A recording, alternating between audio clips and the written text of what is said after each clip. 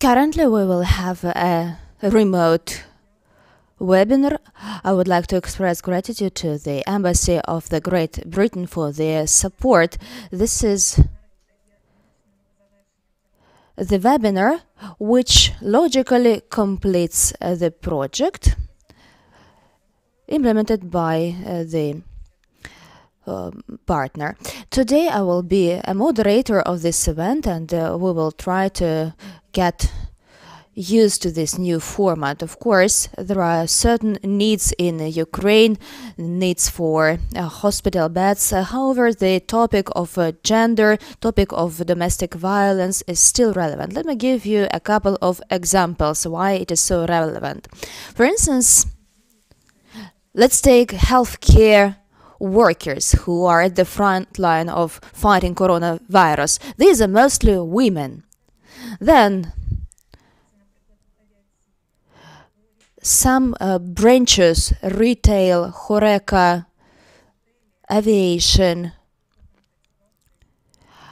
cease their activity and uh, most of the staff are women as well and they are now on the unpaid leave about 40% of uh, catering establishments in Kiev will never resume their activity after the lockdown. Therefore, the coronavirus and the lockdown affects women significantly. Another problem is public transport it does not function anymore. In Europe, most women report that this is the only means of transportation for them to go shopping. So again, the women are affected. There's another thing. We stay at home and the workload has increased. The workload in terms of uh, our career as well as our household duties. Or let's imagine that a woman lives uh, with uh, a man prone to domestic violence. So this means that she is even more affected by this violence uh, while staying at home. So today we'll speak about gender equality. We will have the speakers. And now I'd like to pass the floor to Mr. Pavlo Zamostian, who is the deputy head of UNFPA. I would like to express gratitude to uh, UNFPA for promoting the topic of gender equality, for being aware of the social effects of coronavirus spread.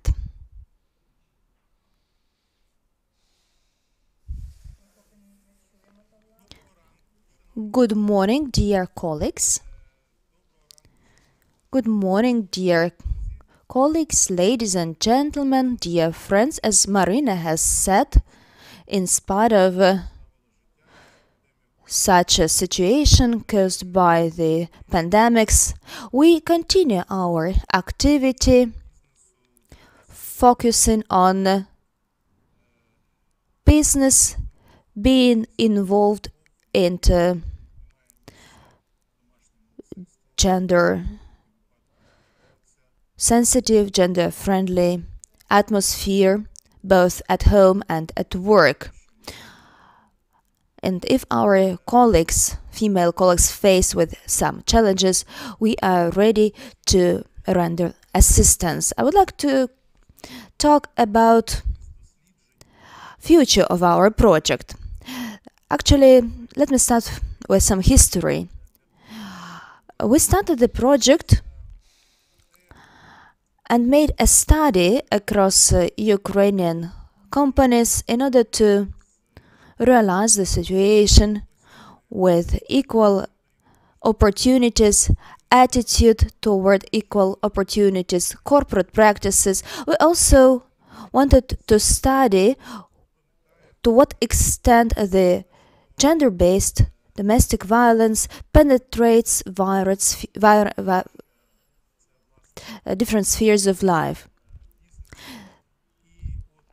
We studied business, we studied domestic situation and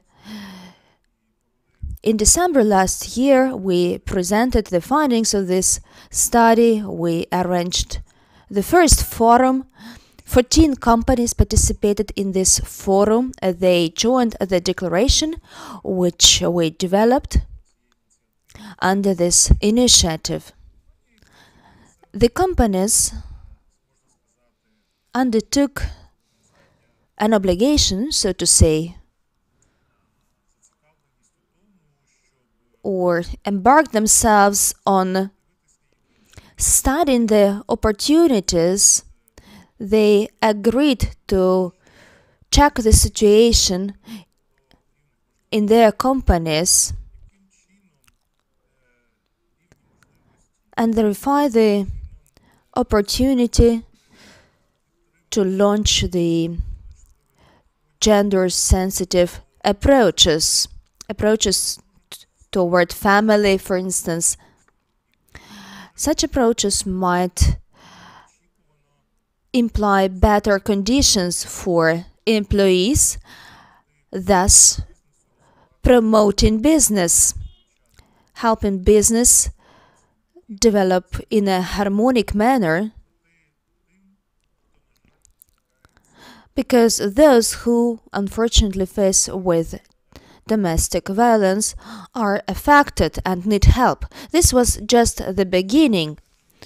This meeting confirms the fact that initiative will attract attention of many other companies. First of all, I would like to thank our partners, Ms. Maryna, the Center for Corporate Social Responsibility. Together with us, they launched this initiative, which is a very promising one. In particular, currently, we faced an unexpected yet very tough challenge of coronavirus which affected all the countries both wealthy countries and poor countries and developing countries this challenge affected the countries simultaneously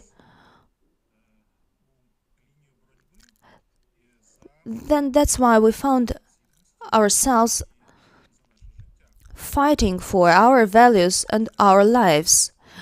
This challenge affected, of course, both men and women. But importantly, first and foremost, women can be affected who find themselves in difficult life situations. They may have lack of money, they have increased workload, especially those with children. A woman might need to work from home, but she has also to care about her children, and uh, that's also my experience. Then we've got a traditional attitude toward distribution of uh, household duties. A woman in Ukraine usually has to cope with uh, most of uh, duties at home and she has to care about children. According to our data, if a child is sick, in 40% of cases, it is a woman who stays at home with the sick child, letting alone other loads and challenges. So,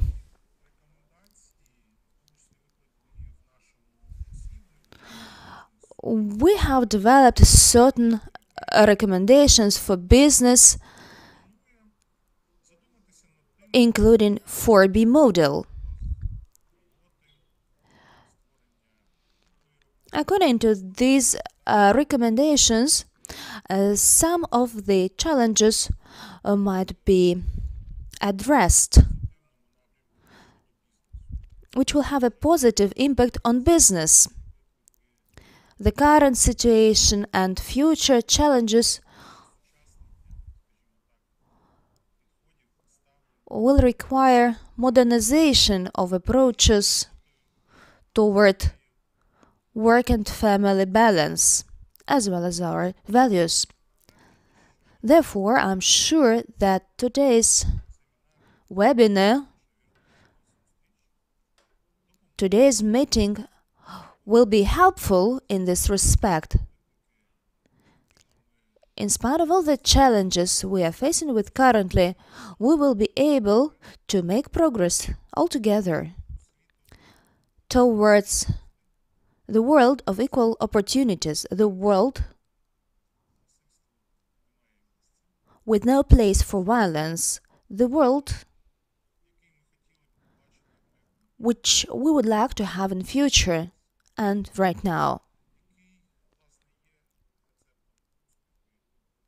Such a vision is a recipe for success. I'm deeply convinced that these approaches will make a platform for sustainable and fastly developing business as well as society.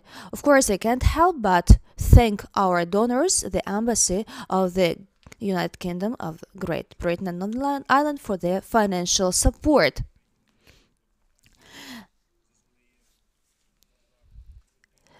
Even powerful countries such as the Great Britain are affected by this powerful challenge. The casualties are very high and at these times the support of the partners is eh, becoming even more important and we together with our partner promise to do our best to promote uh, the gender equality and equal opportunities for everyone. I wish all of us interesting discussion and interesting presentations. Many thanks to our participants, to our speakers for their commitment, for being with us today and in the future. Thank you. Thank you, Pavlo. Pavlo informs you about the first stage and uh, the second stage is just beginning. UNFPA is running currently a very interesting project entitled Dead on Lockdown. We are waiting for your photos demonstrating dads or fathers being busy with kids during the lockdown. And now let me uh, tell you a couple of words about housekeeping issues. So we will have several sessions dedicated to gender equality. We will inform you on Ukrainian and European approaches. Then we will talk about the best practices for business, about 4B model mentioned by Pavlo. This is actually an abbreviation.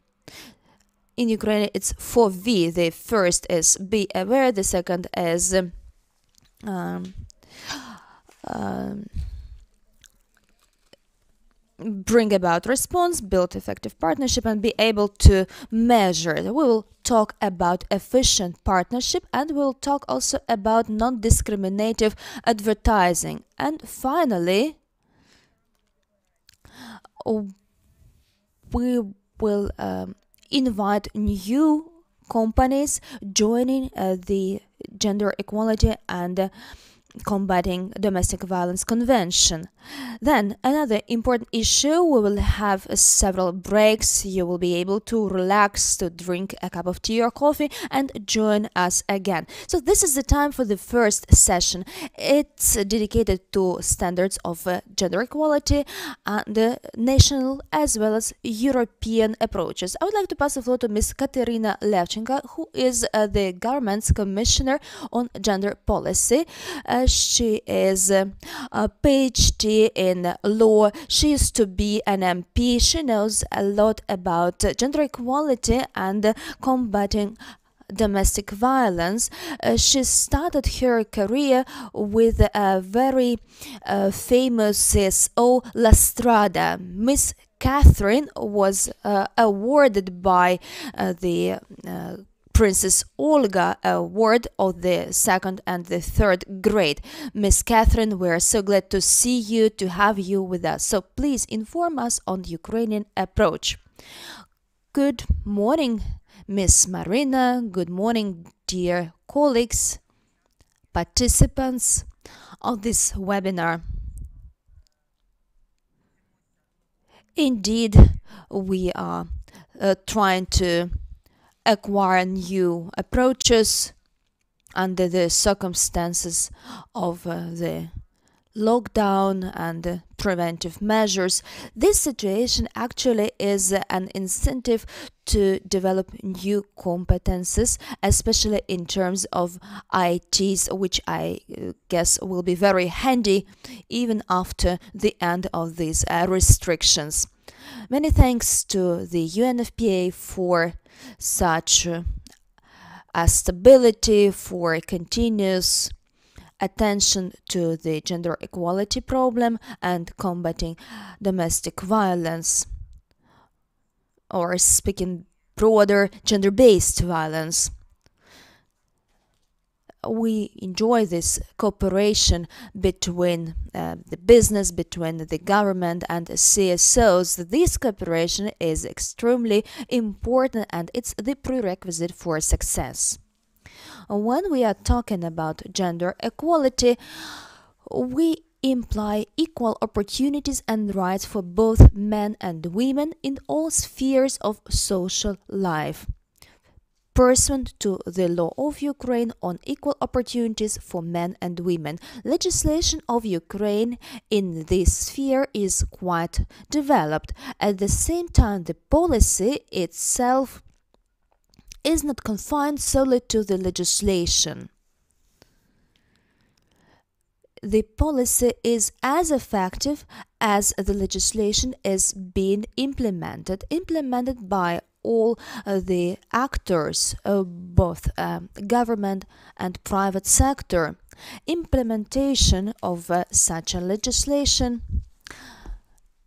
is feasible if there is awareness of gender equality, of its importance, awareness of the fact that gender equality opens broad opportunities for social development and economic development as well, in spite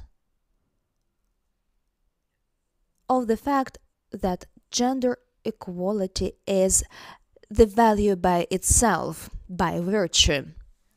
When we're talking about economic sphere and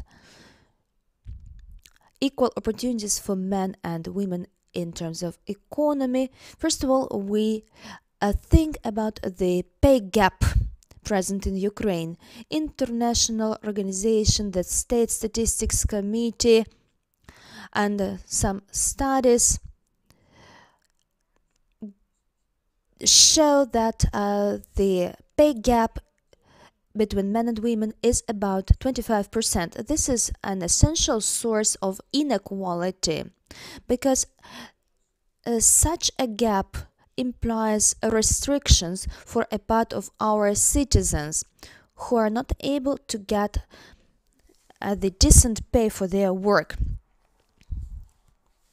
Of course, there are cultural and uh, economic factors contributing to this situation.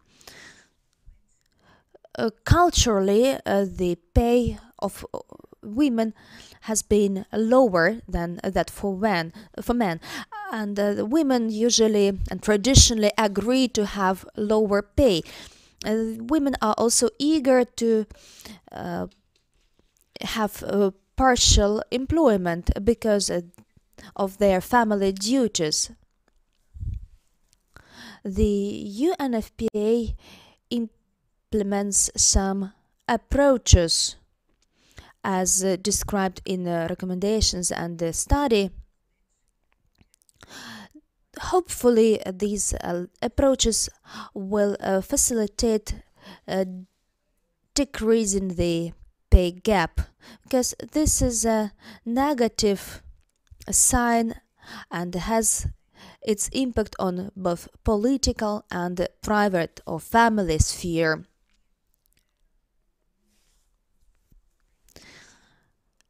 Let us talk about future plans of Ukraine. Our task is to join the International Equal Pay Coalition. Last year, ILO assessed Ukraine in terms of its compliance with the coalition standards. Uh, they've got 11 criteria, and according to the study, validated by the trade unions, CSOs and employers and uh, governmental structures, we comply with uh, comply with seven uh, criteria out of six obligatory criteria to be able to join this coalition and this activity will be continued because there is a need to study and adopt the best international practices and experience. Uh, the Federation of Employers of Ukraine has already joined this coalition and it plans a range of events or interventions which uh, will help understand the tools uh, facilitating the decrease in the pay gap.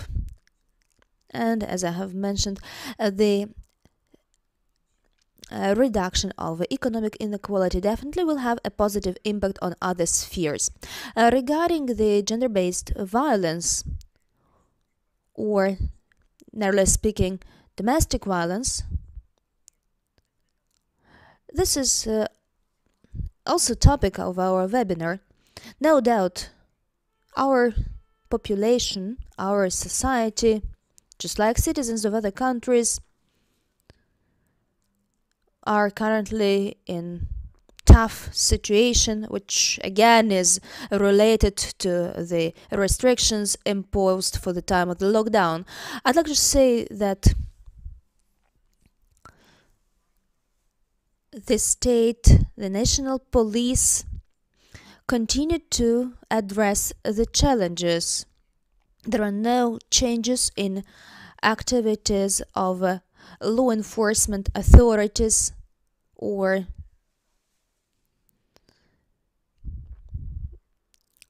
uh, other agencies or the tools which can be used by the police. Yesterday, I, as the government uh, uh, commissioner, uh, had a working meeting. Uh, we invi- invited the Minister of Social Policy, the representatives of international uh, organizations, including UNFPA, and we discussed the measures, response measures, which might be implemented today during the lockdown. A part of the institutions started online consultations like uh, Center for Free of Charge uh, Legal Assistance. They are not going to uh, cease fulfilling their obligations. Ukraine, as a country that's joined uh, the CEDAW Convention and other international treaties on gender equality. Some conclusions may be drawn by the results of uh, the meetings and consultations. We've had the consultations uh, with the heads of uh, oblast regional administrations and CSOs. So uh, there is a need to increase the awareness, to raise the awareness, to reach out to uh, the citizens through the shops, through the pharmacies they attend, through the mass media such as TV and radio because uh, the potential victims cannot use uh, the social networks like Facebook or other vehicles. So the awareness raising uh, should be uh, really important. Then the Center for Family and Youth works actively with families finding themselves in uh, difficult life situations. Together with business structures, uh, this center uh, distributes food packages which reduce the financial burden on families as a result of a temporary loss of employment and other restrictions. So just just to help even in this situation that we have right now, just to help those families and those citizens who do require support and help. So but we also need to understand that when everything is complete, we will go back. We will return to our life, normal life, ordinary life. Um, which must give us these lessons. So the present day gives us the lessons that we must learn on how to increase the efficiency of our life and how to respond properly, to operate properly with the phenomena and issues in the modern world. So uh, uh, I will be really interested uh, in this webinar in its further stages, so I really want you to have a very productive discussion, and uh, with huge interest I will do. Thank you so much. Thank you.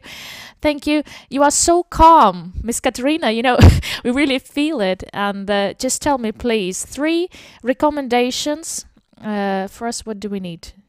to do today what is the, for business for business it's very important today to cooperate with uh, the local self-governance bodies with social services with the centers of social protection and support of children and youth also with uh, uh, the agencies responsible for so other agencies responsible for social support and caregiving agencies and organizations. So thanks to decentralization we do have different names and titles for all these services and institutions but the most important thing is to work with those who do have and who are committed and who have the need and who really work to help uh, our citizens second recommendation work with ngos with public associations with activists.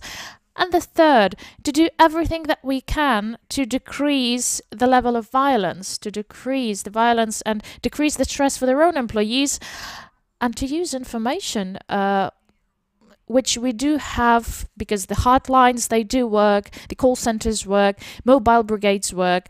We do all have these data and we want these tools these means to be used to help people to overcome the stress and pressure. Thank you miss kateryna. Thank you so much. We do uh, you are free right now so you can go. We understand that your working day is you do still have some work that your working day is still ongoing but i'd like to thank you so much and i'd like to say that the study and the surveys they also confirm that the latest uh, survey tells us that 73% of uh, employees of both genders in the world they do expect that companies they expected the companies are expected to change their HR policies to be more adapted to life and work balance and so on and we heard Ukrainian experience, and right now I'd like to pass the floor to Mil Vasily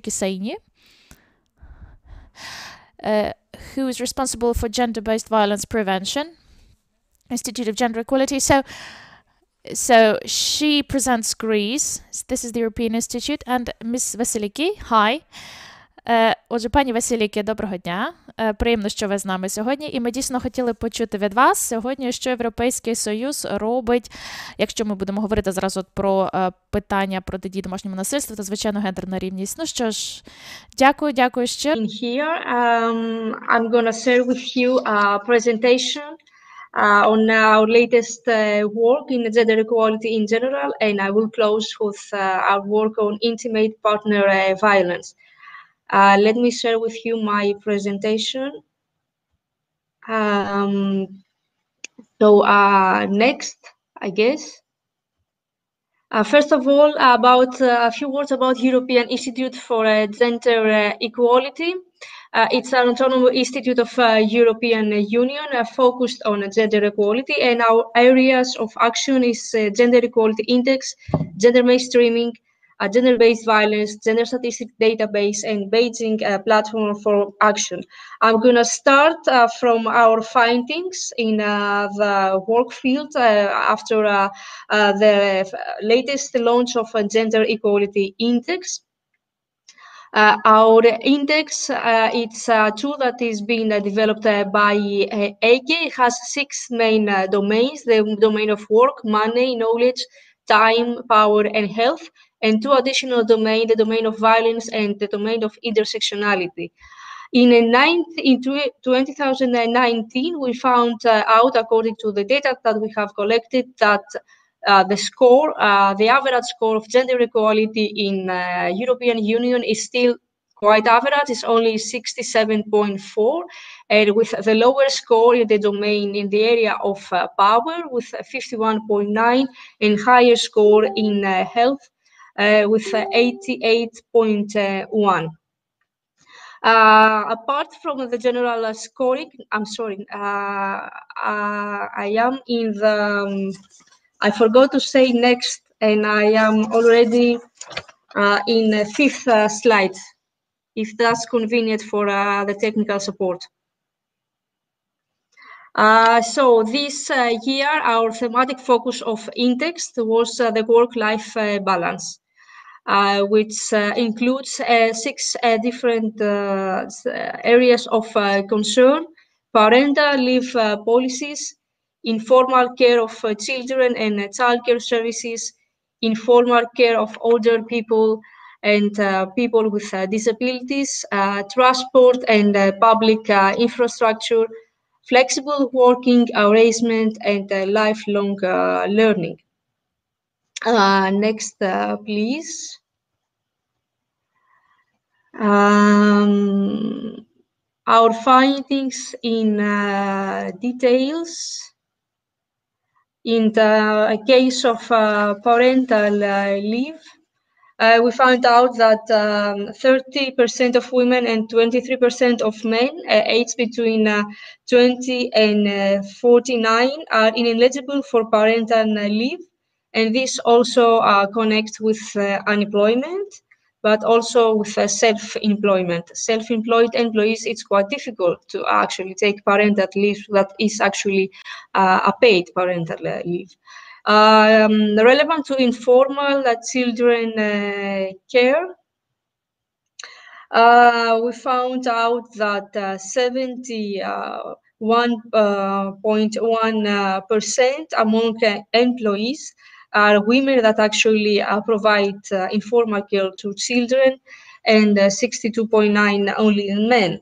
Uh, overall, uh, 56 uh, of women and 51 of men are involved in caring or educating their children or their grandchildren. So we're not only talking about um, parents, but also grandparents. Um, considering older uh, people and the informal care that uh, is provided uh, to them, uh, the majority of uh, informal carers are uh, women, with almost 60 percent. And um, we found out that considering the, how many days per, they are actually dedicated to provision of informal care, we have 50% uh, of uh, women and 10% of uh, of men. Next, please. We're in the slide seven.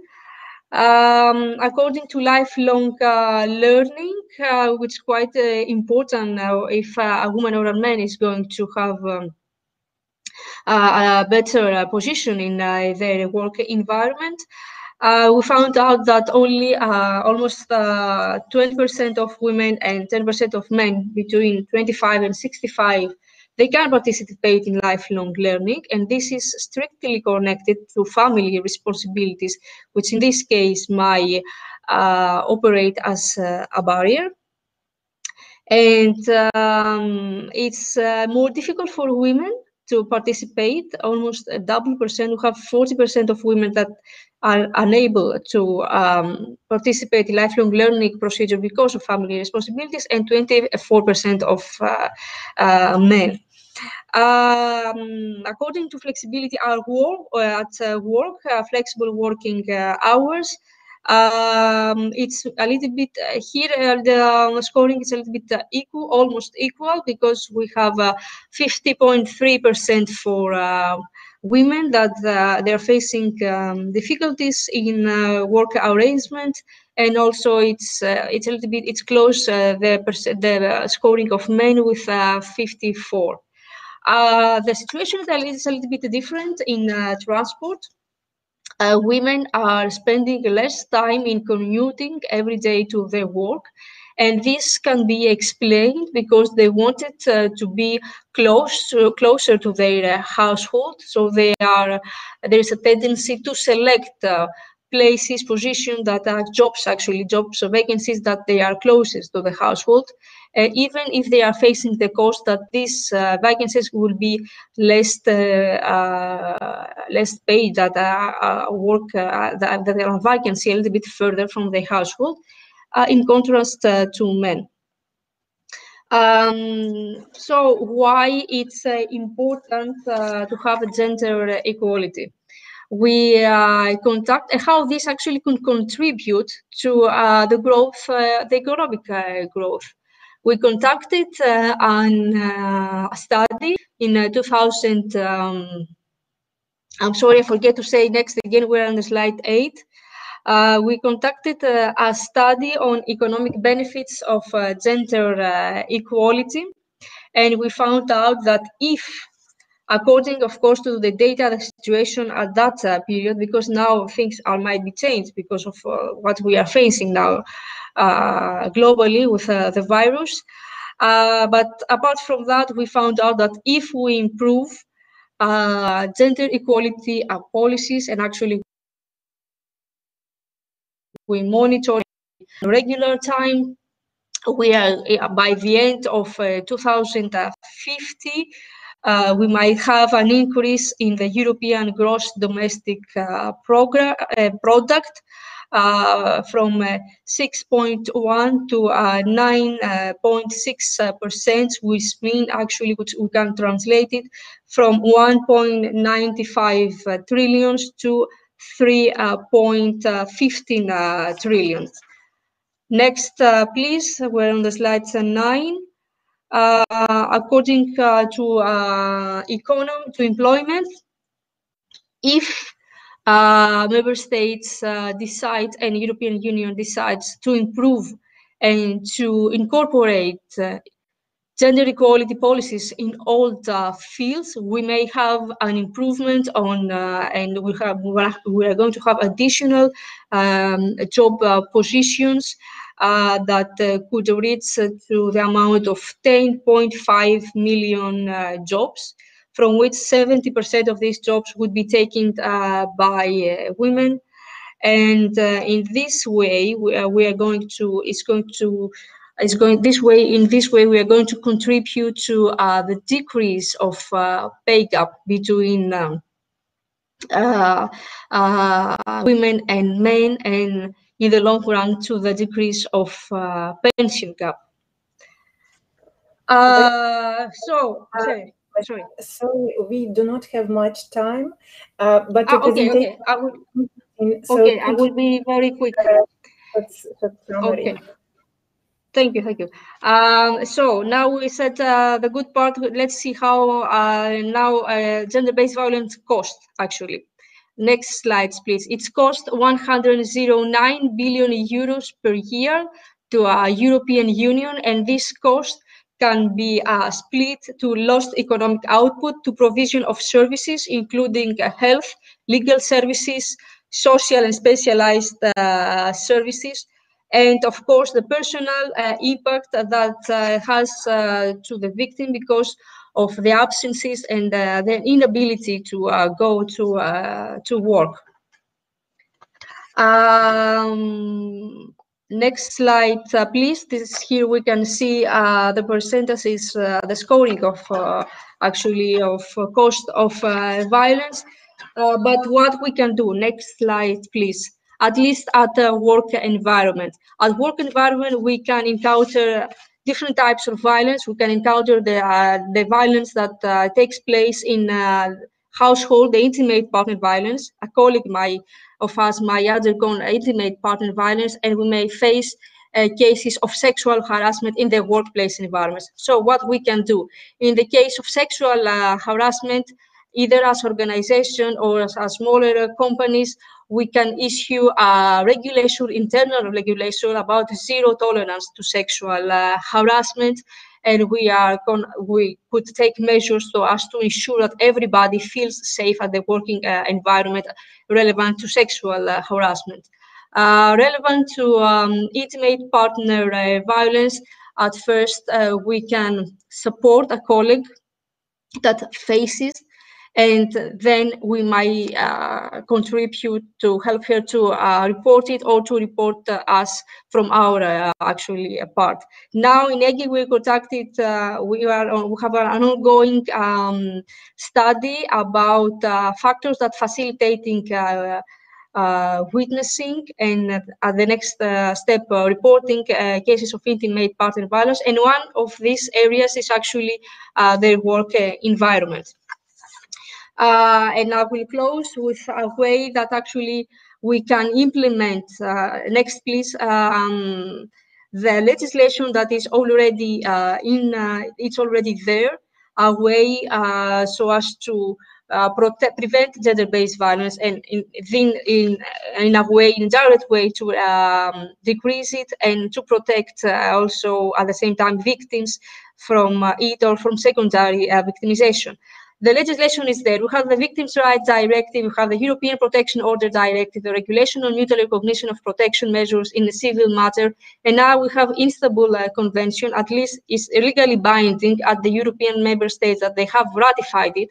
European Union is still in the process of assessing it, but still how we can actually implement it. We are, this is an example of how we can implement it.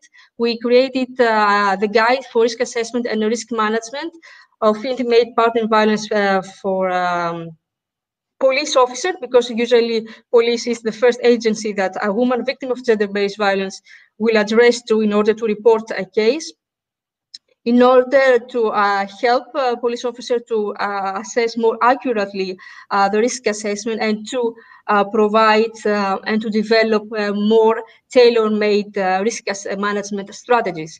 We by we did that by proposing four elements, for new elements to be incorporated to the already tools that they are in the field uh, or uh, the new the two tools that they might be developed in the future. These elements is the gender perspective. All tools they don't have this perspective. The individualized approach, which actually being provided by the Victims' Rights Directive in Article 21. Uh, the multi-agents. Yes, and I'm I'm finishing yes. with it. Yes, sorry. Multi-agents. Uh, we, we really yes. do not have a lot of time now, so we should close quite soon. And I would, okay. and because participants are mostly companies. May I ask you about some recommendations for companies? What to do now in this um, new reality? Yes, uh, first at first point, uh, companies uh, they should ensure that um, they can uh, eliminate uh, sexual harassment in their uh, companies.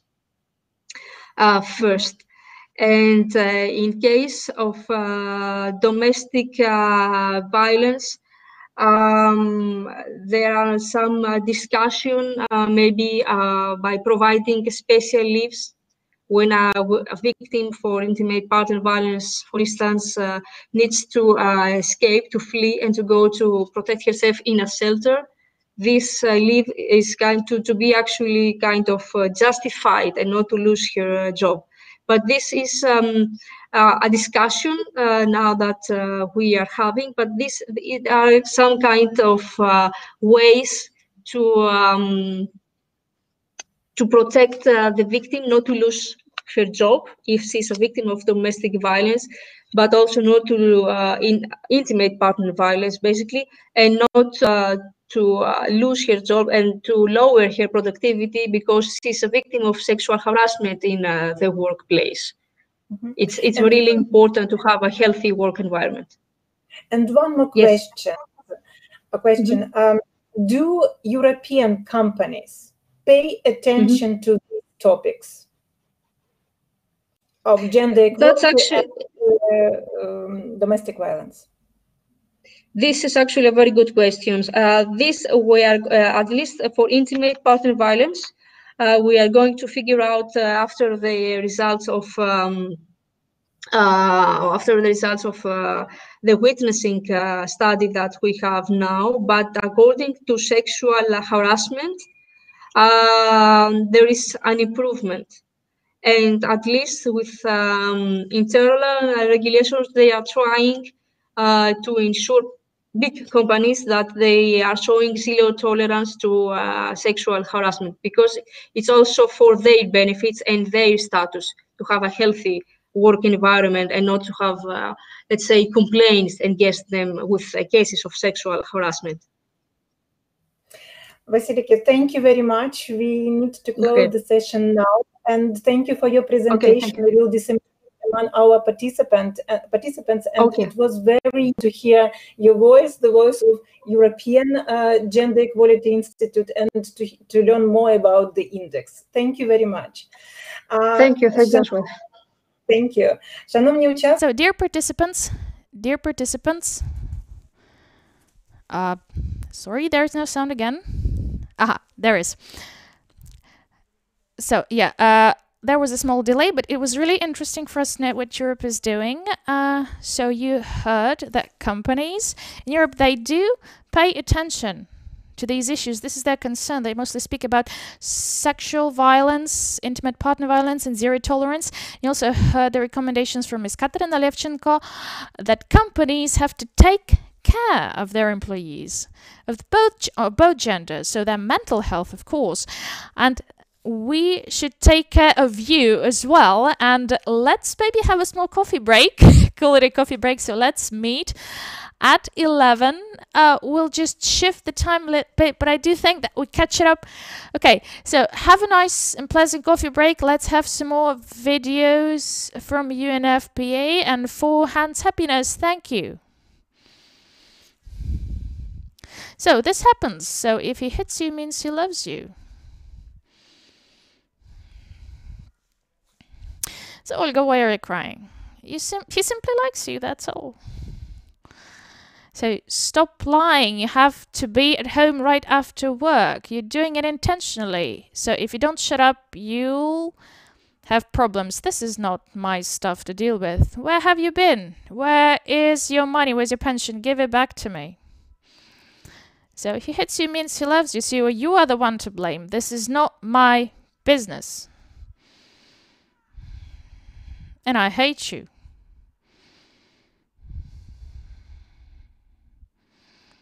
Break the violence circle.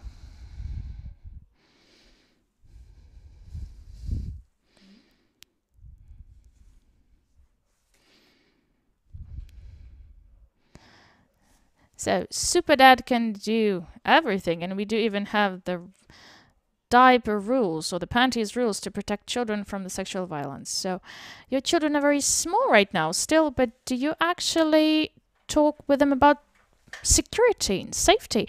Are there any safety rules that we can give to small kids so we do not allow uh, to touch the genitals, uh, their hands, the daytime? So the only the only time simply it's allowed to after the bathroom, after these washing procedures, when we use creams and other personal care stuff. So you know, nose drops in some situations when they are in the children's room on the sofa together so we trust them and this like a small evening ritual then they actually when they have clean hands happens when they study it we don't uh, prohibit that. But with other people how to behave how to communicate with foreign uh, with uh, people they don't know. So foreigners people who come from different places so some dangerous touches. We didn't have these situations. So our children are very open but the thing is that they have never been alone without us, without our care, our protection, without our surveillance, let's say. So, grandmother, grandfather, us, kindergarten teachers or nannies, so total control, the territory is protected in the kindergarten, so we are absolutely sure that nothing may happen.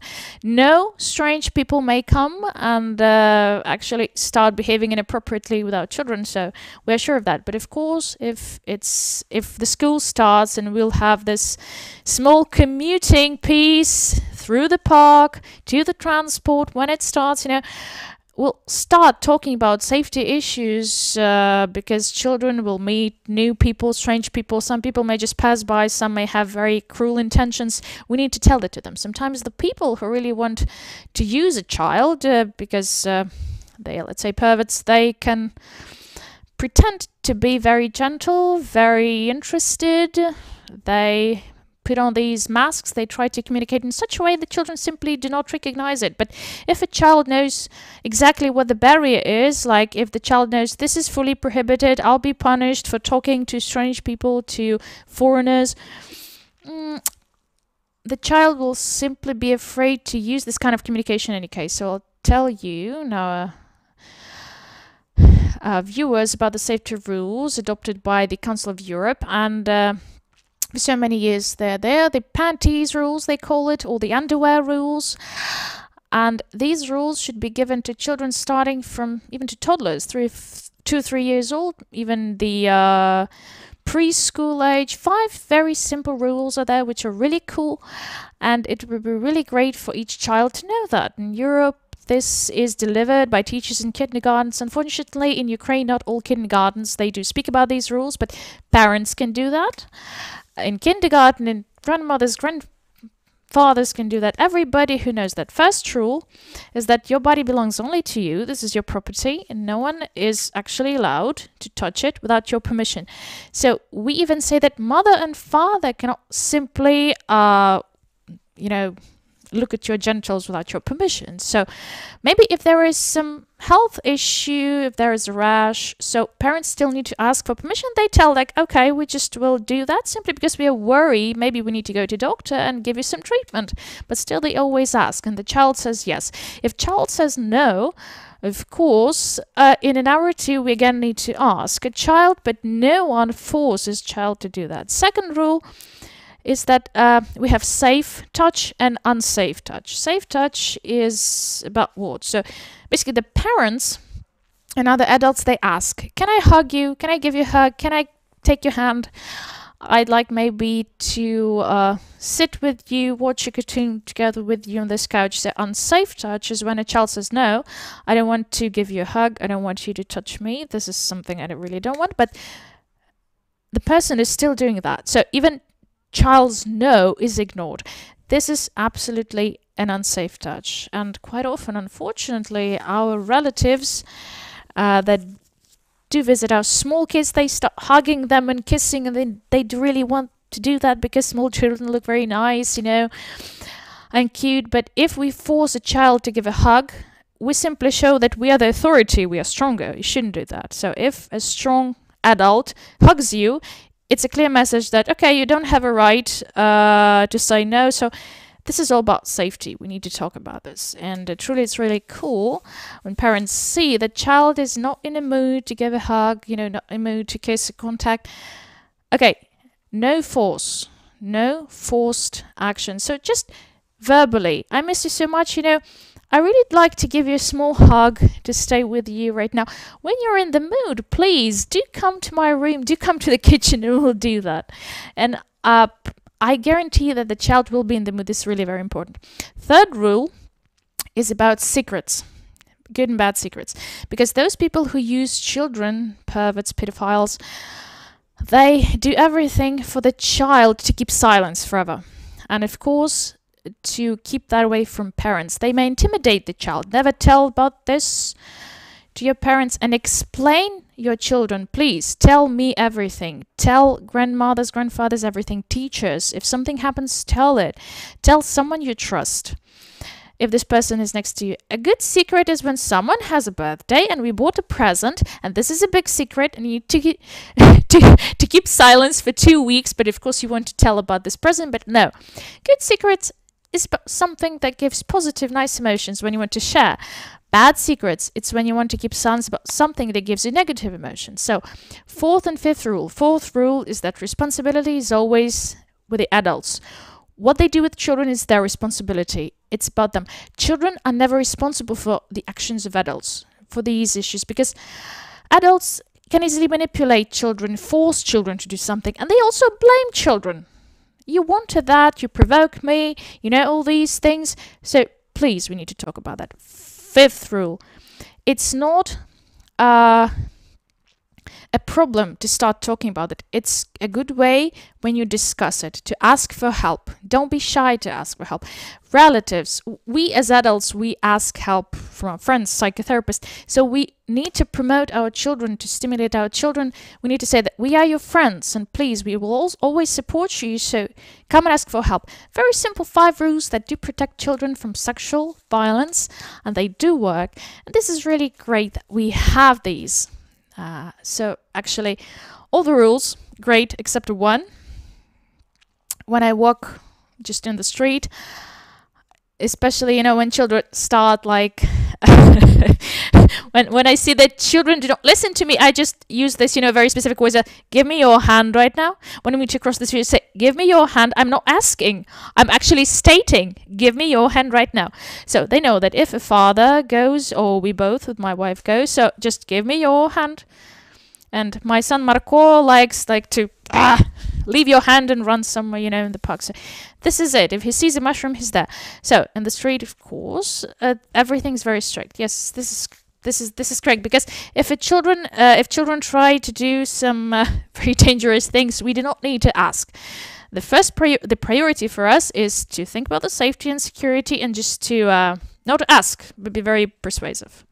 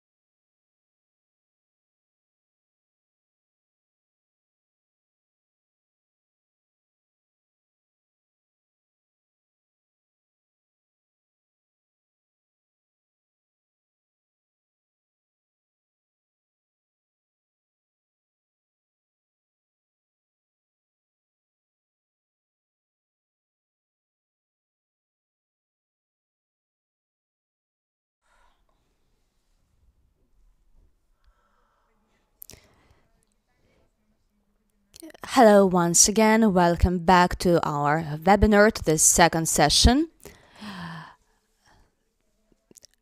Actually, I'm not sure whether you managed to drink any coffee because uh, these uh, videos were very informative and interesting. Thank you, UNFPA, for raising awareness. We would like to make our webinar as interactive as possible. We've got two streams on Facebook and YouTube. Please ask your questions, especially now during this session the representatives of business uh, will join us and tell about their interventions. Then, secondly, you may follow the link to our webinar in your social networks. As many companies uh, as possible in Ukraine should be able to watch these webinars. The companies will talk now about their practices and would like to learn more about uh, the entire project running since the previous year. So, with great pleasure, I'd like to pass the floor to Ms. Svetlana Pavlysh, who is the UNFPA consultant.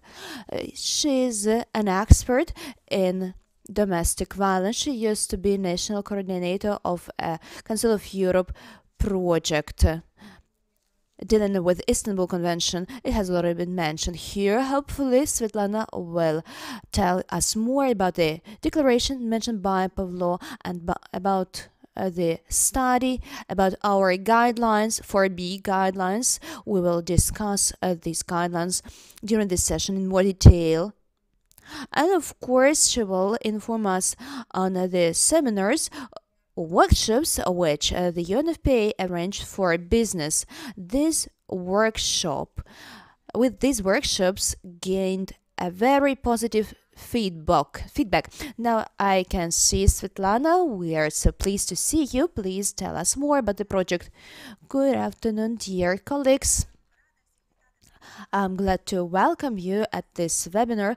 Thank you for being able to join in this tough period for ukraine we have to adapt to the new circumstances very promptly a couple words about our project.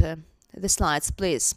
As Pavlo Zamostian said, this project started as a study. You see the uh, QR code to download this study on the screen. What was it about? Let me tell you a couple words about the methodology. About a thousand respondents took part in this study from 79 companies. This was a remote study, so a slight error is possible. At the same time, we can talk about useful information for the development of guidelines and further activities. what are the figures? What we didn't know about the domestic violence and gender equality. So we learned that some companies do not have um, any family-friendly policies. 76% of respondents informed us about that. Then uh, a number of uh, companies uh, said that they need such actions to strike a balance between work and family. Unfortunately, a small number of respondents said that they were aware about certain policies in their companies. Just 3% mentioned that they know about the code of ethics, 5% mentioned that they know about their companies implementing uh, the policies to prevent discrimination. Not too many know about uh, the steps their companies make to provide gender equality. Only 5% of employees know about the uh, terms of childcare leaves. Uh, this statistics is related to the fact that uh, people just do not know about uh, the opportunity granted by the state policy for dads to get child care leave. Uh, the actually uh, this uh, paid or unpaid leaves is a good time a good period for dad to spend more time with the newborn and help the wife. About 20% of uh, respondents uh, faced with uh, uh, gender-based discrimination. About 10% of people faced with doubts about uh, their professional competence. Uh, then we asked also our respondents about uh, the sexual harassment at workplace. We asked uh, the mostly the office workers. We didn't include the plants and uh, the branches of uh, manufacturing entities. However, we can uh, also use this information for assessing uh, this amount. 4% of uh, employees refuse to answer this question. 24% uh, of people acknowledged being harassed at the working place, and 81% of them were women. 41% of uh respondents, about a half of the staff, uh, saw the signs of domestic violence borne by their colleagues. So they see that this phenomenon is of a latent nature not everyone is ready to acknowledge being a victim. What's the impact of the domestic violence on the work of companies and uh, the employees themselves? So this, uh, the 50% said that uh, this has an impact on uh, their health, on their mood, and 50% said that they are not able to concentrate on work. And this has an impact not only on their work but also the work of their colleagues, because a part of their work should be done by their colleagues. The perpetrators may call, may uh, pay visits to work and uh, the colleagues uh, should undertake the responsibility to answer these calls sometimes. Let me draw your attention to another figure. One third of the cases of domestic violences uh, took place at work. In what way? The perpetrator came to the workplace, threatened, uh, sent some uh, threatening uh, messages, made threatening calls. 2% of uh, respondents were affected by such uh, calls uh, if they tried to help the colleague or assist somehow in this situation. So, what did we learn about the impact uh, of uh, these events on the employees. 78%, which, quite, uh, which is quite a significant number, say that uh, the domestic violence has a negative impact on the occupation, on the professional life. And 49% of the employees say that they do need the certain policies. Let me quote a couple of figures uh, which are quite demonstrative. What is uh, the cost of domestic violence? Uh, first, 600 women uh, perish annually from domestic violence. If we compare this to military hostilities, we get the number of 174 uh, casualties there is not a single person which is warranted against uh, the domestic violence. Uh, the uh, domestic violence costs 2.4 million USD annually for Ukraine. Actually, this is the budget of entire of entire oblast of entire region. Uh, 3.5 thousand sick leaves should be issued annually for the victims. Uh, why am I talking about these figures? They might sound a bit abstract, but every figure and every dollar implies our taxes, taxes we pay for the law enforcement authorities, for health workers. Uh, the more uh, events, the more cases happen, the more taxes we have to pay to cover them. Realizing all this, companies decided that they may establish a kind of coalition to protect their employees and show by their own example what steps can be made in this direction. In December 2019, a forum took place, and during this forum, 14 companies joined this Foreign Companies and Business Association joined this declaration. So on the screen you see the text of the declaration both in Ukrainian and in English. On the right you see the QR code. You can follow it and download the declaration. If you've got any questions, if you are willing to join the declaration, it's possible to sign and send a scanned copy of the declaration to the UNFPA. And now let me dwell on the declaration itself, on its provisions. The declaration itself is aimed at assisting the state in achieving SDGs, in particular SDG 5 and SDG 8. This declaration is constituted by three sections. So the first, implementation of family-friendly and uh, gender-friendly base uh, policies, uh, then zero tolerance to domestic violence, and establishment of partnerships. Talking about the first direction, first section, we can say that this implies a review of existing of existing programs, their enhancement or perhaps adaptation implementation of other practices. This also means the gender sensitive language during the workflow in the documents uh, we ma many times see that um, only uh, nomina of um, um, typical for uh, for men are used.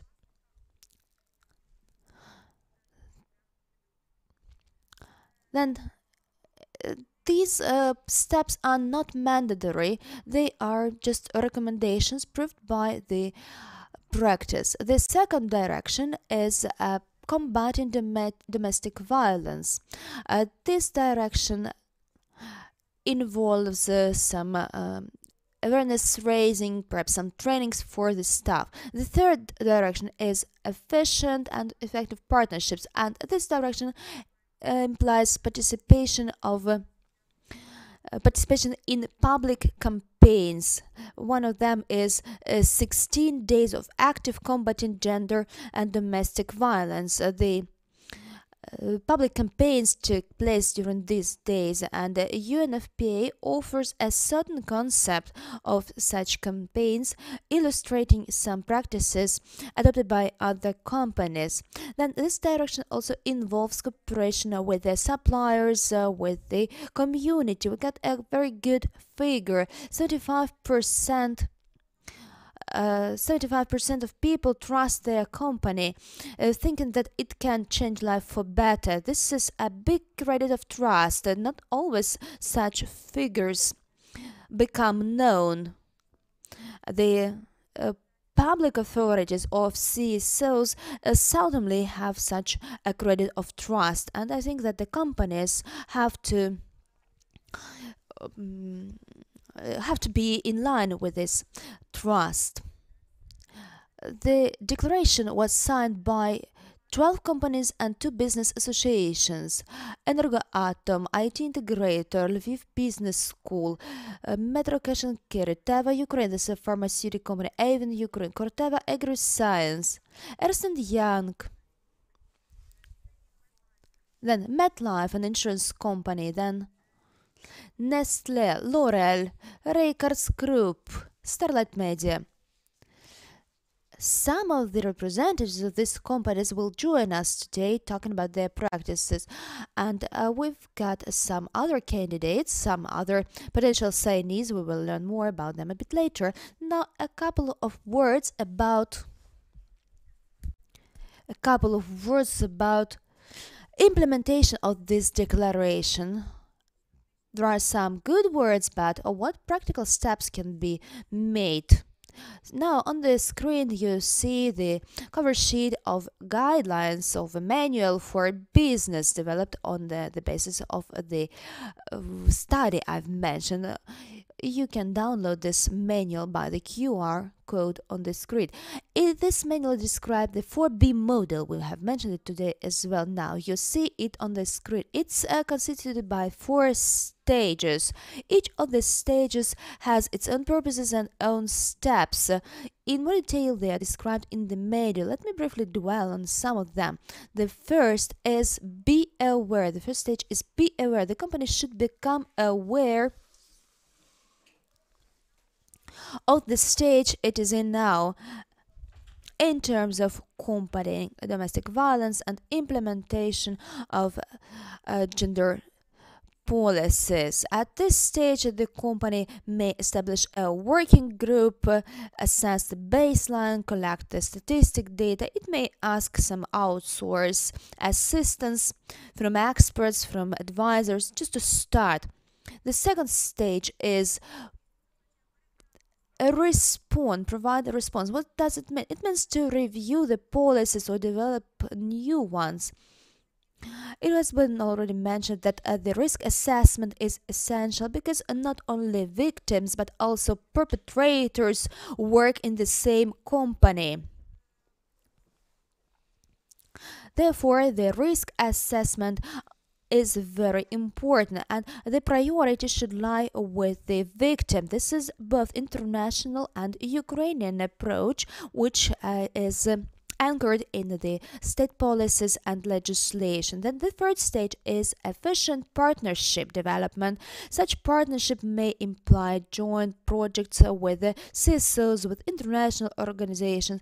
For instance, our project together with the UNFPA. Such projects were implemented by L'Oreal together with UNFPA as well. There are some international organizations or UN agencies like ILO which also run their own projects. Recently, they adopted a new convention. Um, establishing new standards for companies in terms of working place arrangement. Uh, this uh, convention is relevant for, for us in terms of coronavirus I'm sorry, I have to inform you that we are running out of time. I will have to give you some signals. Okay, let me summarize. You know, this is my favorite topic. I got fascinated by it. Let's scroll a couple of, of uh, slides. Let's get back to the slides. The next slide, please. So,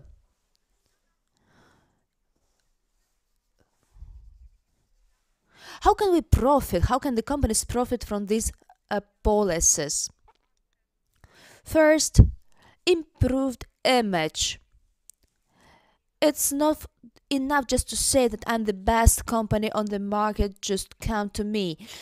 The candidates uh, can also select the companies by certain criteria, uh, judging whether it will be comfortable work in this or that company. Then uh, there is also a financial component of such activities. Every dollar invested in psychological health of uh, the employees can result in nine dollars in future. Every dollar invested in combating uh, domestic violence can save from 5 to 25 USD. Then I will tell you a little bit more about the concept for business. Uh, we will be able to share this with all of you. After the webinar, we will uh, distribute the links to Google Drive to the materials and the presentations. The UNFPA developed the awareness-raising materials for the companies to publish them on their web resources. Uh, there were also some consultations and meetings with the companies for them to promote the policies and their implementation.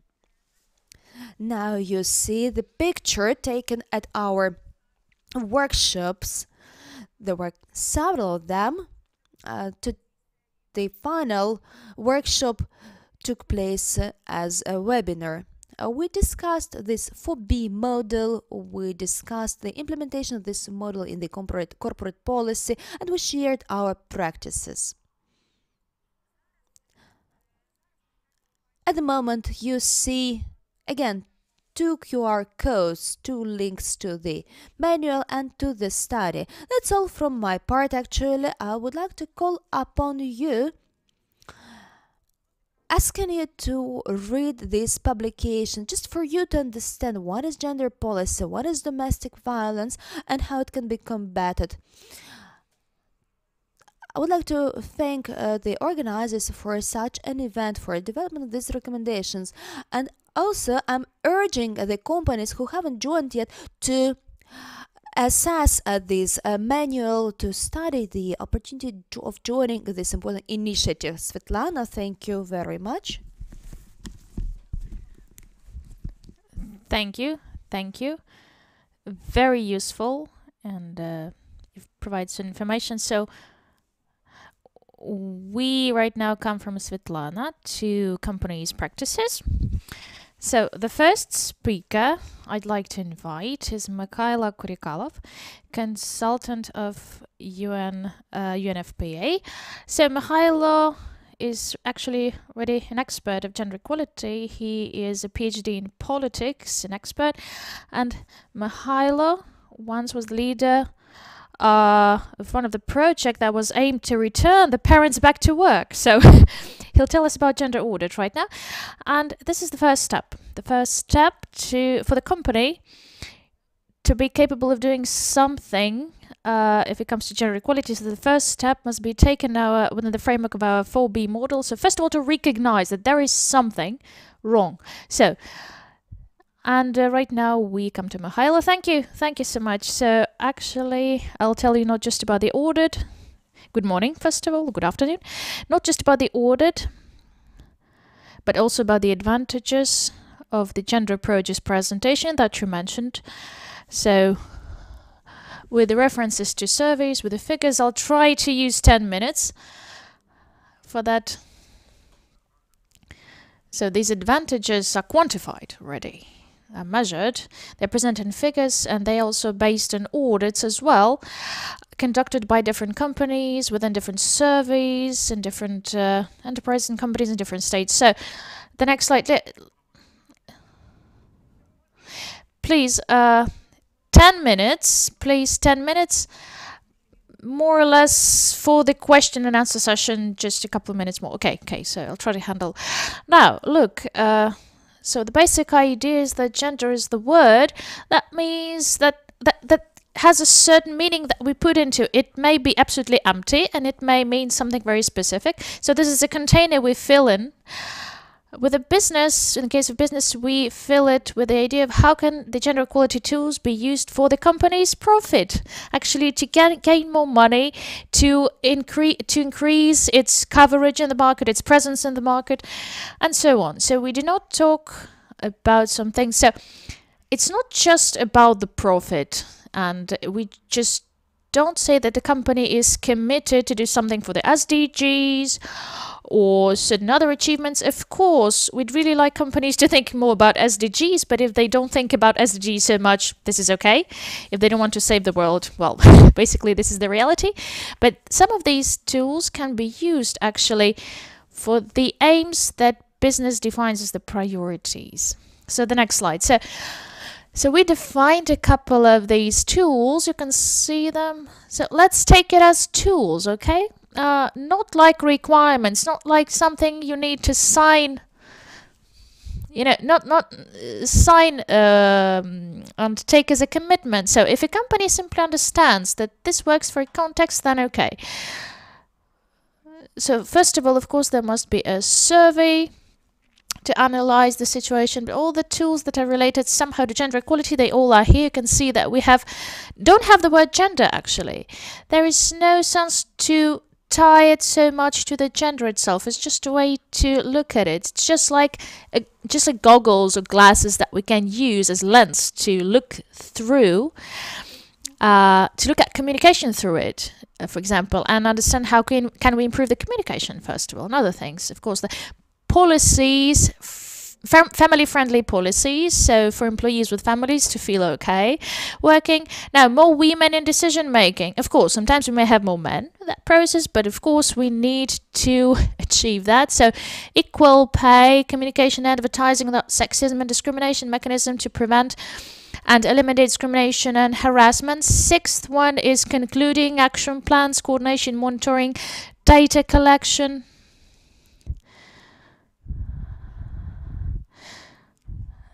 So coordination, monitoring, data collection is easy for Ukraine, I guess is the most appropriate. But so we have a lot of surveys, but still not enough data anyway, because uh, surveys do not always give the answer to question how did this specific tool impact this specific situation? Did any other factor impact it? So we cannot say whether this tool specifically impacted something. Of course, we need to develop certain methodology aimed to evaluate this specific situation concept. So let's change the slide and let's go on. And let's go on again. So the first tool is, let's say, it's the most popular one and I think it's the easiest to be used. Uh, so family-friendly policies, we call it. So we can actually they have different manifestations like the flexible schedule, remote work, so parental leave for dads, medical insurance, also sick leaves for dads with children, so different type of care, different uh, types of uh, childcare. For example, a company may launch its own kindergarten, uh, a certain, you know, clubs. So family events, and the last thing is the programs to support employees who return to work after the parental leave. So we defined it to be one of the most interesting options. It's, this topic is really interesting. During the last two seminars, we defined that companies are ready to do that. Many do, ready? And the next slide, please. So here we talk but how Ukrainians as employees, so your employees, how important this thing is for them. So family-friendly policy in the companies is important to people and the statistics says us that only 2% of men they uh, go to sick leave when their children when their children are sick. So, 44% uh, of women. So, this is quite troubling. This is quite troubling, quite a troubling statistics. And we again expect that nothing will change dramatically that fast. So, if we had a situation, a 50 50 situation, we would not have these precautions, gender based precautions. So, this is a matter of concern. And the next slide, please. Next, please. Yeah. Aha, the welcome back kit this exactly is about what we decided for the last time to call these welcome back kits business associations. So how to help the employees to adapt to let's say the new corporate reality. So we have uh, the so-called freshman kit when people only come to work and the welcome back kit is for example when a person is absent for two or three years a mother or a father something changes in the legislation that regulates it new practices appear something changes. And uh, for the person it's really important to dive quickly into that and to adapt quickly. So temporary mentorship trainings uh, for example not working uh, for a whole day but with a flexible or part-time schedule for a couple of months. So it depends on how ready you are as an employee in the company, how ready you are to adapt and how quickly. So it depends on the employer as well. If you're ready to provide that. So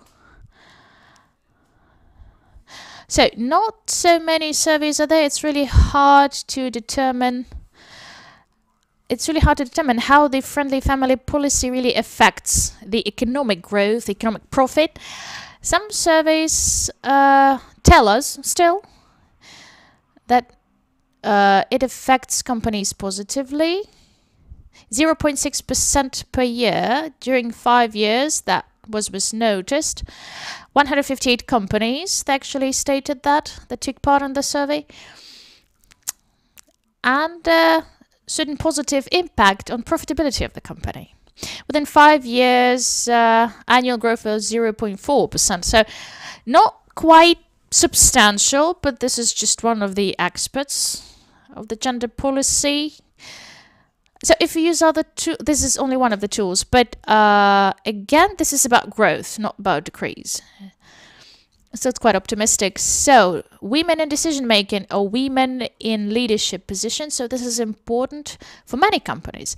So it's important do we have women as managers, as leaders, especially for job seekers, women job seekers?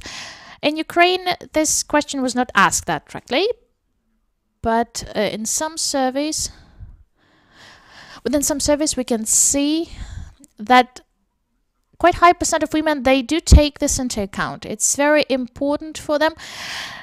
So it actually depends on which vacancies they would select. So we can see uh, that the attractiveness of the company depends on that. Are there women at the top management level or not? So some companies they do take specific measures to reach that. For example Bloomberg media company tries to have women, uh, attempts to have women in all the units, in all the sections. Duolingo tries to reach this 50 50 proportion, and they um, fund certain events for women and they have special headhunters for women only let's say. So they try to attract more women. So the experience of the company the company's products of course of course uh, they try to stick to women's preferences of course when designing new products for example. Advantages. It's about the advantages for for the company's profitability and productivity. So within five years, we've had this survey ongoing. 617 biggest companies in the world, and uh, they determined, the experts determined that those companies where we have where we have more than four women in the directors boards, it means that the more women we have, the higher productivity will be. And of course, the fewer women we do have in these boards, well, it means that profit goes down. We take the average market figures, of course, from one to three women gives half a percent of growth. One woman in a board gives a little bit more than 0.5% of growth.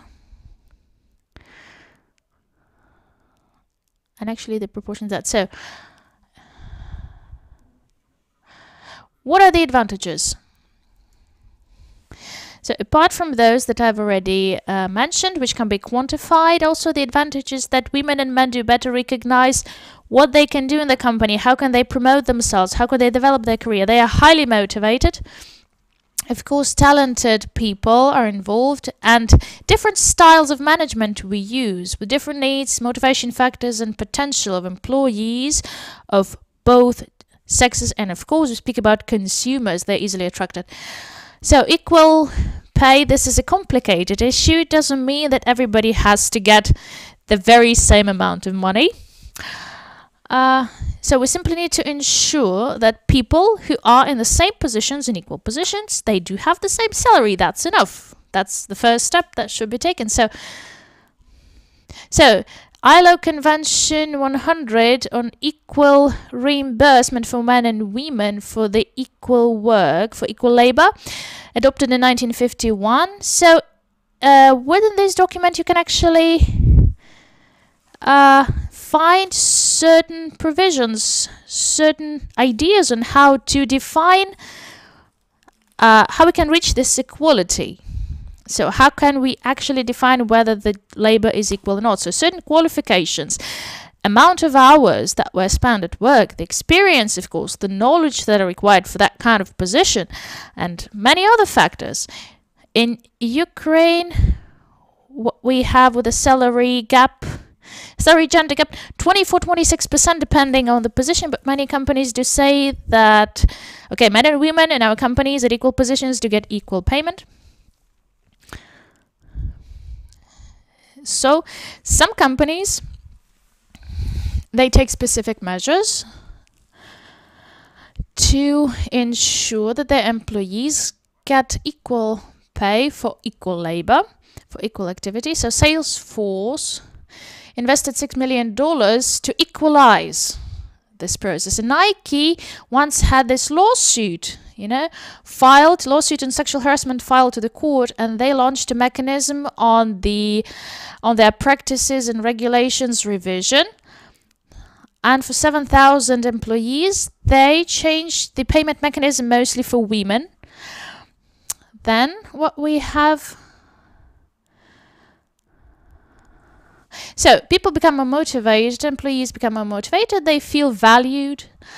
Uh, they, they feel that they have certain value and we can involve more talented people when they feel safe like employees. So the fourth instrument, the fourth tool is to ensure that communication advertising uh, is fully deprived of sexism and discrimination. For consumers, this becomes more and more important. In Ukraine, we don't have the data still, but we have this these trends that we trace in social media as well, and we can see that quite often consumers and clients, not just gender experts, but just average people, different people, they pay attention to sexist advertising and they do express their opinions because there is certain impact and they even can stop buying purchasing certain products. So it definitely uh, it's definitely important of course if you want to improve your uh, relations with international partners national business partners, that's important. How to use this tool, how to implement this tool.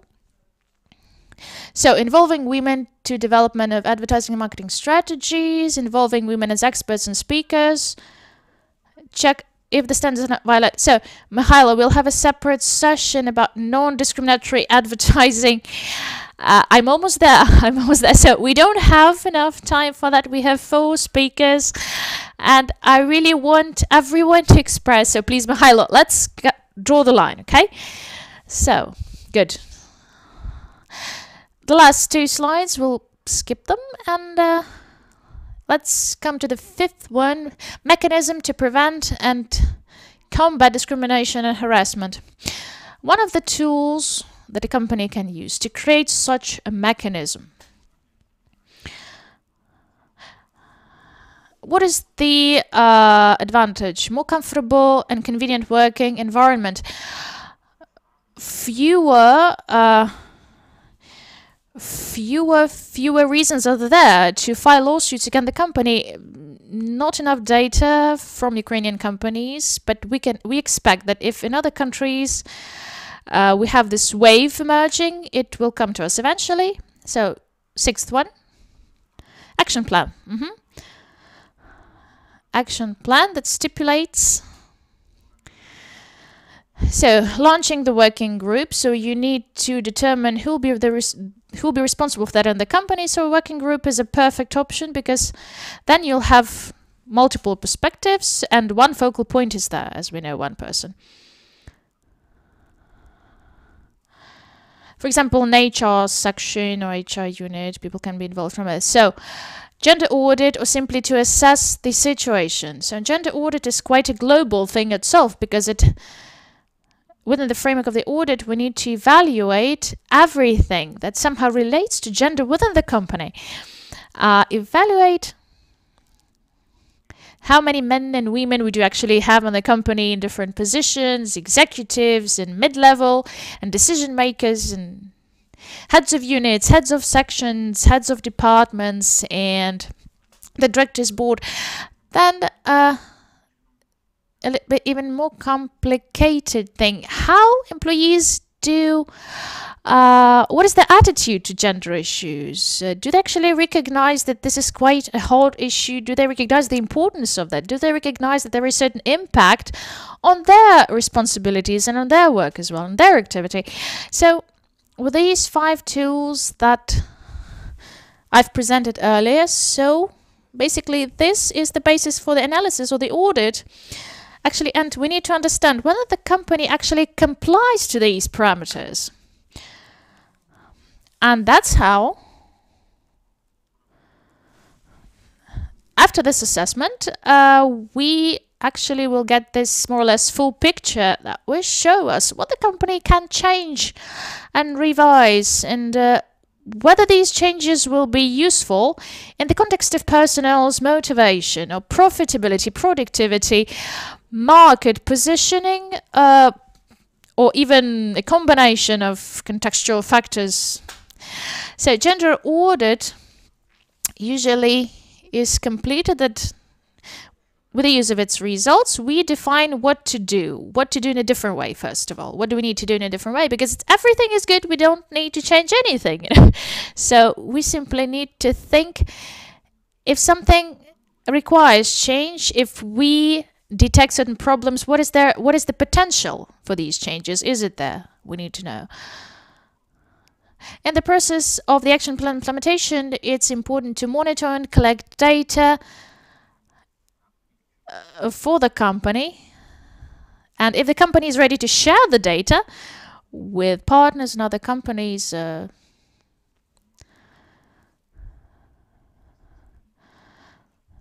for example, certain sensitive issues for the company may be detected. But this is very important because it allows to answer the question, why do we need it?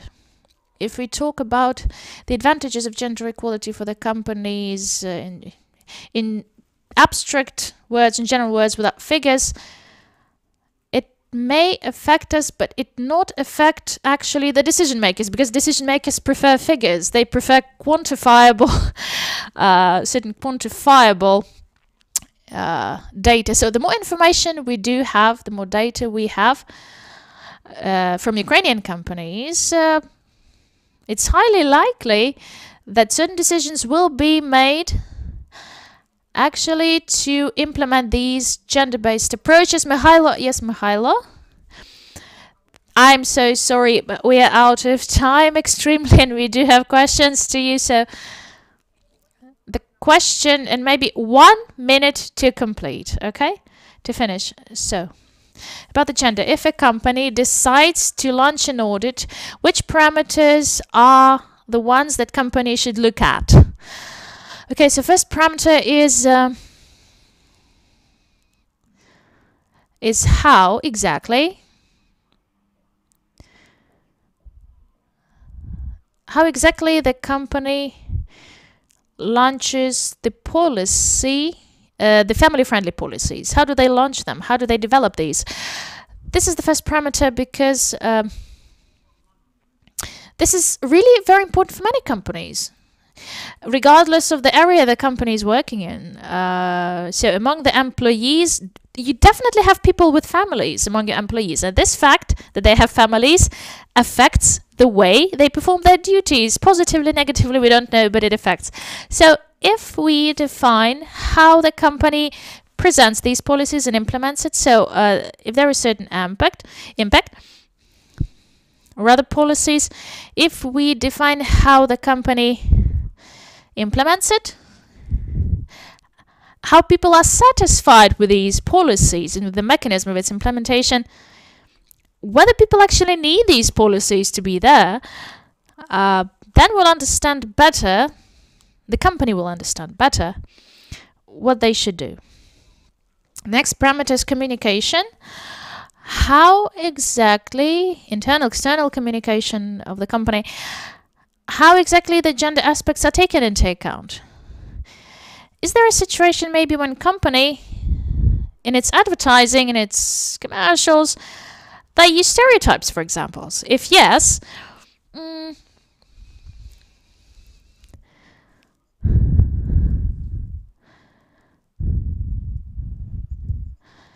if yes, if it does use stereotypes, uh, so again, we need to stick to the data resulting from the surveys. Last time within the seminar, we determined that pharmaceutical companies quite often use results of the surveys that money usually that the sorry women usually make decisions on medicines and on treatment so men are uh, eliminated from that process uh, okay so the survey tells that yes women do but on the other hand can we actually target certain advertising campaigns at men? Yeah, Mykhaylo, I offer to stop at this very moment. Pharmaceutical companies got the task to check it and start thinking what men really want to do. Do they really want to make decisions? Thank you so much. So we're out of time completely. And uh, I want everyone, I want really everyone. We, we must stick to gender equality anyway. So thank you, Mykhaylo. Thank you. So, really useful.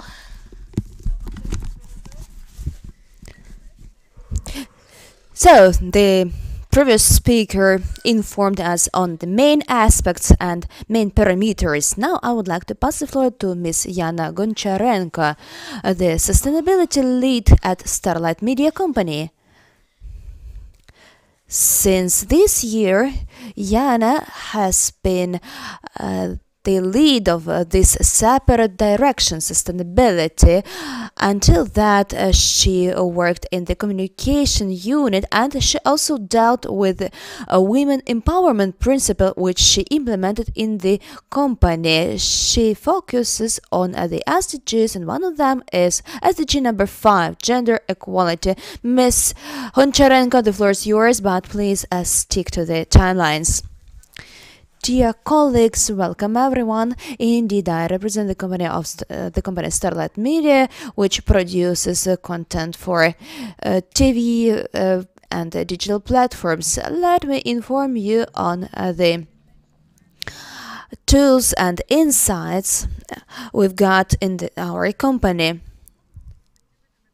So our path can be split into five steps. All of them are related to 4B model. But prior to talking about each of these steps, I would like to uh, let you know about a mandatory step. Uh, this is uh, this the dialogue with CSOs because uh, the involvement of CSOs may facilitate integration of the company into uh, the sustainability process. So we are trying to interpret or to translate uh, the SDGs into the language of business. It is uh, very important for us uh, that the gender equality can be measured in monetary terms on a quarter year basis. So the gender value is a value. It's important for companies today and forever. We at the StarLightMedia are privileged to participate in multiple uh, gender equality movements or feminist movements from the very beginning. Uh, the uh, C- uh, CEO of our company was the champion of this process actually. Uh, the global transformation process started in our company. It aimed at the strong corporate culture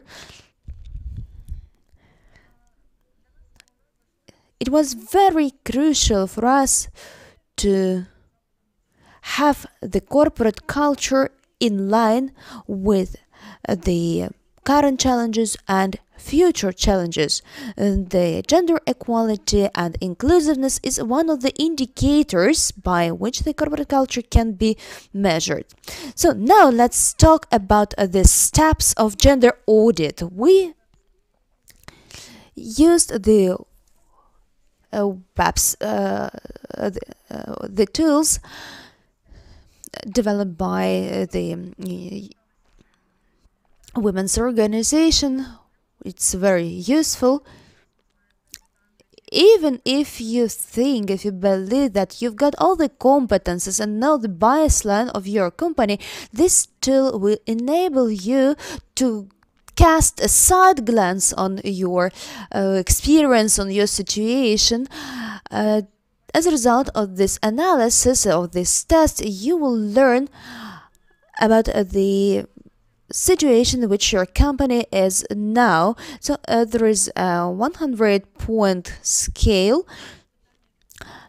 The first question actually asked in Ukrainian context is, wow, is there any problem indeed?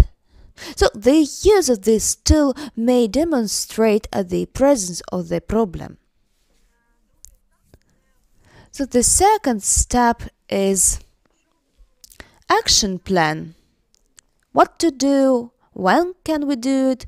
We at StarLightMedia decided to use the global practices to adopt global approaches, and we were the first company to join the women empowerment principles. Uh, these principles were developed again by the UNO for businesses that are willing to integrate gender equality principles into the company's activities. So This is a kind of a guide and uh, it's an opportunity to learn about uh, the best practices. Uh, we signed uh, these principles and made a commitment. The commitment might be both public and internal.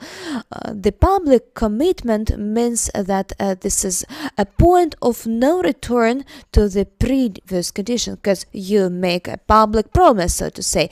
And internally, uh, this gives an impetus to all the employees of the company, and thus you may involve all people who are not indifferent to the topic.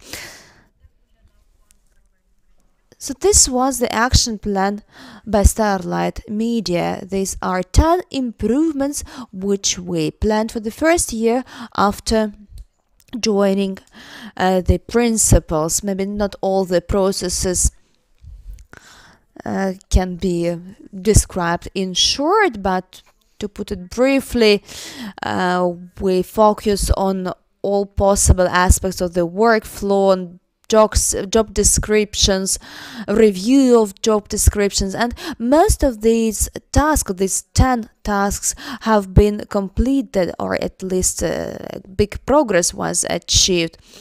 Uh, for instance, uh, the program for parents uh, which focuses on the dads who are willing to spend time uh, spend more time with their family, with their kids. We cooperate with our suppliers, with our partners, and uh, we check how many of our suppliers of our business are headed by women. And another topic, which is of course very important for us, which leaves lots of space for improvement, is the topic of our content, of the content we produce. We communicate with our creative teams and with our spectators. Of course, we're not going to be confined to these uh, 10 tasks or 10 obligations. There were several activities like uh, changing signs on the doors using the feminitives or we used feminitive forms on uh, the uh, certificates and uh, passes. Every company uh, should explain the employees why it is so important uh, the employees uh, are willing to see that the company shares this value. Such communication is a must because, uh, anyway, there are lots of challenges. So, we, like other businesses, are still learning, and no plan can be a warranty. Uh, currently there is a coronavirus pandemics and you have to uh, respond children are at home and uh, StarLightMedia is trying to implement principles allowing the parents to work remotely and in our internal communications we urge our employees to distribute their uh, household duties Then another uh, another step is uh, uh, the establishment of sustainability lead. I'm the head of this sustainability at our company, and the team advocates. This is a wonderful job. I work mostly with gender equality and SDGs, which is no less important. Here on this slide, you see the term topic advocates. So we see them as uh, the champions of the process. So we are privileged. Uh, the president of the group, the human capital function, the communication department are our reliable partners. It's very cool when people from different units or subsections join the process. It's a big business and it is impossible to know everything what's going on and uh, they contribute to their visions, their points of view. And they help you understand uh, some uh, uh, minor processes or hidden process. So the next step is the partnership. Uh, of course, uh, we appreciate our partnership with the UNFPA and other partners. We realize the importance of the topic of the gender uh, equality and uh, domestic violence. Uh, and a slide of top, sometimes you start dealing with the topic of gender equality and you may face with more criticism for being involved in gender equality. Then uh, our key partners assist us in improving our content and working inside the company. So the next step is communication and accountability. I can't help but repeat that it's very important to exchange views in a so to say private manner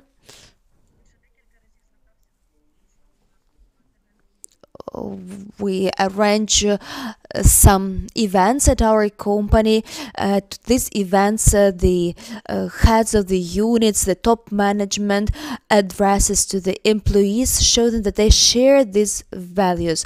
At the StarLightMedia, we decided that every year we will publish the report on the progress achieved in order to adjust our actions by publishing official information on our plans next year. Definitely we'll be sharing all the stakeholders the information on the problems and the challenges we faced with for other businesses to use our lessons learned. So the final slide was entitled Formula of Success. Uh, the goals should be clear the involvement of stakeholders all the stakeholders is important it's crucial to have opportunity to learn and to teach so awareness raising is a very session then partnership communication and accountability and reporting so the reporting is a very important part that's all from my part Thank you, Yana. I'm very grateful. Thank you for these uh, really clear recommendations. I'll tell you goodbye and now I'd like to pass the floor to Ms. Olga Klymenko, Corporate Communications Manager representing Procter & Gamble Company. Procter & Gamble uh, develops the report on gender-based pay gap. In their activities, they mainstream gender equality. For instance, uh, the the uh, Gillette advert advertising focuses on uh, combating uh, masculinism or uh, detergent uh, video or uh, commercial is for uh, equal distribution of household duties. good afternoon, I'm very glad to see you. I've been listening to the previous speakers and it was really pleasant. I'm at home now and I feel proud of being the part of the company because indeed we implement all we can and uh, we are going along the right path. Let me tell you a story about my joining the company, why I'm there until now, and then I will tell you about implementation of gender equality policy. In 2006, I joined the company as the hotline operator working with customers. I was a student at that time, and even then, I started learning more about the company. Actually, I fell in love with the company. It's 14 years since uh, I joined the company now. I'm the head of the corporate communications in the company, and I still love my job. So at that time, I had already worked at several national companies and then I realized that I was willing to work for a company with very clear policies focusing on human rights and very clear, clear rules of games irrespective of the gender of your identification.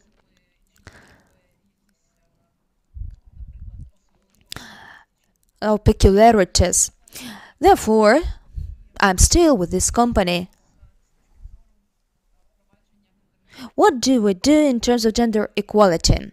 First, within the company uh, we have achieved some results we can say we are proud of because in 1992 uh, women made only 5% of top management positions. In 2011, that's 30%. Today, this indicator makes 43%. So I'm talking about a global picture.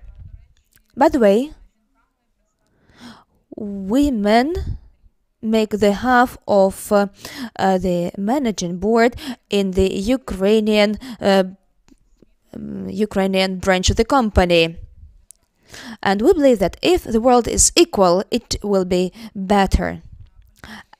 In the company, we have been implementing the policy policies making the world inside the company equal, and we see that in spite of the progress you can make inside the company, the world outside is still biased. We call these prejudice myths, and these myths, this bias, prevents women from unfolding their potential and occupying top managing positions. And we believe in these myths, we communicate them to the world. Therefore, we undertook a commitment to unveil these myths within the company and beyond. We have identified four major myths which prevent us from achieving gender equality all across the globe. We call them myth about leadership, myth about uh, career, myth about balance, and myth about harassment. These are four basic, I would say, biases which make our life worse inside the company. each of these myths each of these myths uh, is important. The biggest myth is the myth about leadership, and uh, according to this myth, women uh, have not enough leadership qualities. Everything is okay with women. We just define the leadership as itself in a very narrow way, and this definition is not in line with the reality.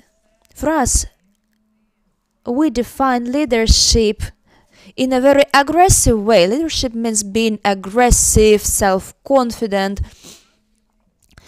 authoritative. In fact, the leadership has a lot of uh, different forms, and leadership can be demonstrated in a number of ways.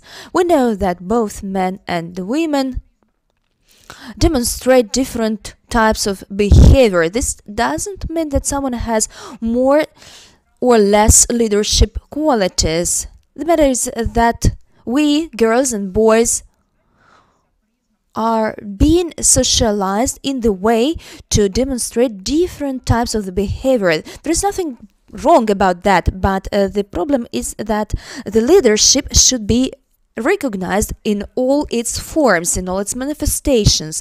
The leadership should be genderless. So that was the first myth. The second myth, that's the myth which we call myth about career.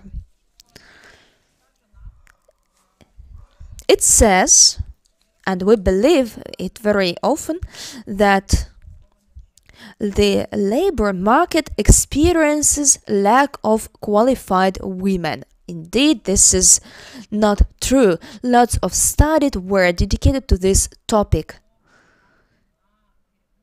women are underrepresented on top management positions. However, we see that our society is uh, distributed nearly equally, nearly 50 50.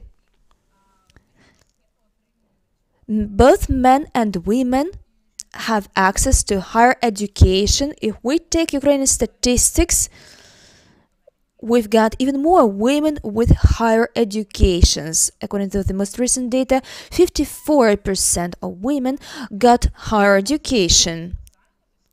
Or if we take employment statistics, we will see that about 73% of women are employed versus 68% of men. Women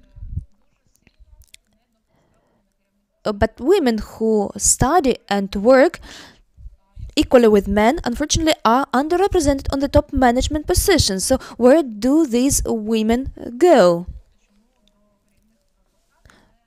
We as a company hire half men and half women but why do not these women reach the top management positions?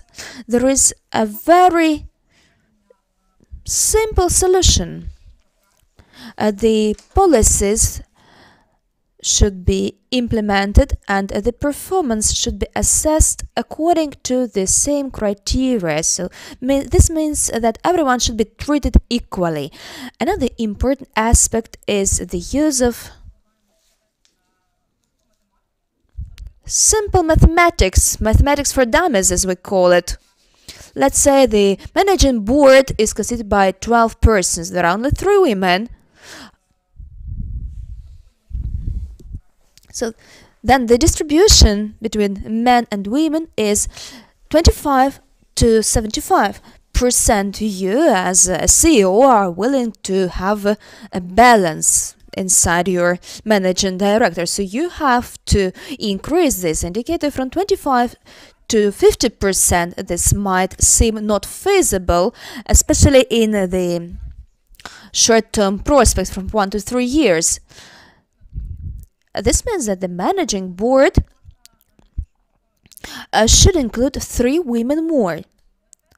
It is easy to achieve this if you cultivate the workforce in the company, both men and women. So traditionally, companies pay more attention to career growth, to professional development of men rather than women.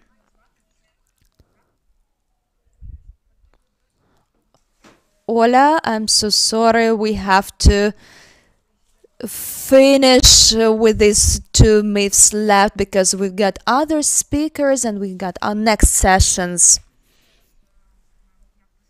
Okay, thank you, Maryna. The third myth is myth about balance. We believe that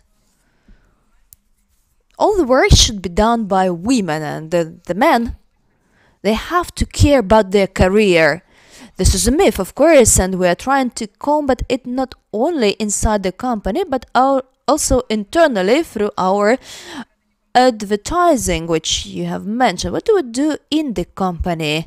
We implement the policies which enable men to pay more attention or spend more time with the families. In July 2019, we've introduced a policy of paid childcare leave for men, for dads. They can get eight weeks of paid childcare leave if they've got a child or they have a, uh, have adopted a child. Uh, this uh, uh piece of news was uh, warmly accepted by men.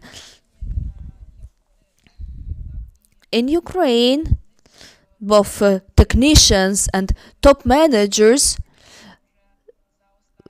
get benefits uh, of this uh, policy. Within half a year, five men use this benefit. Four of them are men working at the production. So this works quite well, and we see that for our employees, it's a demonstration of the fact that we do care we do not just talk about gender equality in our commercials, but we implement the uh, working policies and offer true assistance to our employees, facilitating uh, them in spending more time with their families. Thus, they can uh, have more time with their kids, uh, fearing not of uh, losing their job or their income. This is psychological support for them as well. And the last myth I would like to tell you about is the myth about harassment. Many people believe that uh, women are to blame for the harassment at the workplace or beyond. Indeed, I'd like to say that harassment is not just sexual harassment, it can be also emotional harassment or verbal harassment in fact, there are no other recommendations but for zero tolerance. It is it should not be just on paper. This policy must be effective. If an employee reports that uh, he or she experienced harassment, we've got at the company special mechanisms uh, which are put in place to analyze uh, the situation and all this the relevant measures are taken. As a rule, this happens quite quickly if uh, an employee, if an employee feels safe at workplace. If employees feel that nothing wrong can happen to them at the workplace. This is for them a, um, an element of uh, psychological safety and security. The company is very serious about this policy. This is perhaps one of the first policy policies which should be implemented by our businesses. It should be just on paper again this should be a working obligation and it should be also communicated outwards. The companies must uh, stick to the obligations irrespective of the person in question. Even if uh, a very important person is uh, accused of harassment, the company should have no doubts about actions against this person. So no exclusion. I've been working for Procter and Gamble for 14 years already and I'm very happy to see that the policies do work and they do not exist on paper. They work and it's very pleasant to see that these policies work in Ukraine. Therefore, I can bravely say that both exist and function. It's important and it's not that easy as it may seem. So I'm urging everyone to follow the gender policy, implement the gender policy inside the company. It helps the company to improve the image, to retain the best talents and have the good reputation of a good employer in the market. Thank you, Olga. Thank you, thank you. You what you speak is truth. You preach the truth about the boards. And right now we don't have time for questions, but I have an offer.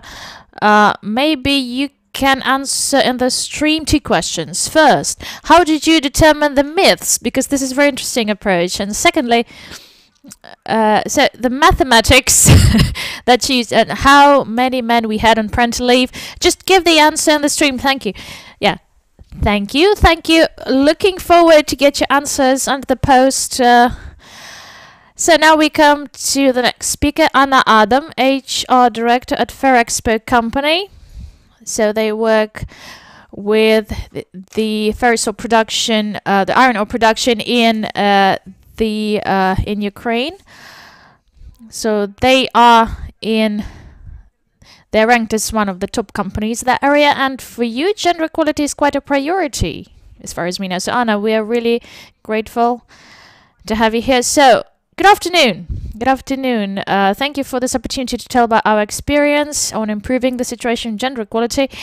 So I'd like to bring my presentation on the screen if uh, it's possible. Yeah, thank you. It's there. So truly, we are a company uh, working in the industrial area, heavy industry, especially when it comes uh, to gender equality. Well, traditionally, in this area, we've had mostly men for many decades, even centuries. So for us, this is actually a very important task to take the measures that can change the situation for better. So the next slide, please. So for the company, we've picked five key goals to improve the situation of the gender equality in the company. I will not stop at three at three first because for our top management they are obvious. So what can gender equality bring to a company when it comes to innovations and productivity growth and uh, satisfying the stakeholders' expectations? Just two key moments I'll stop at.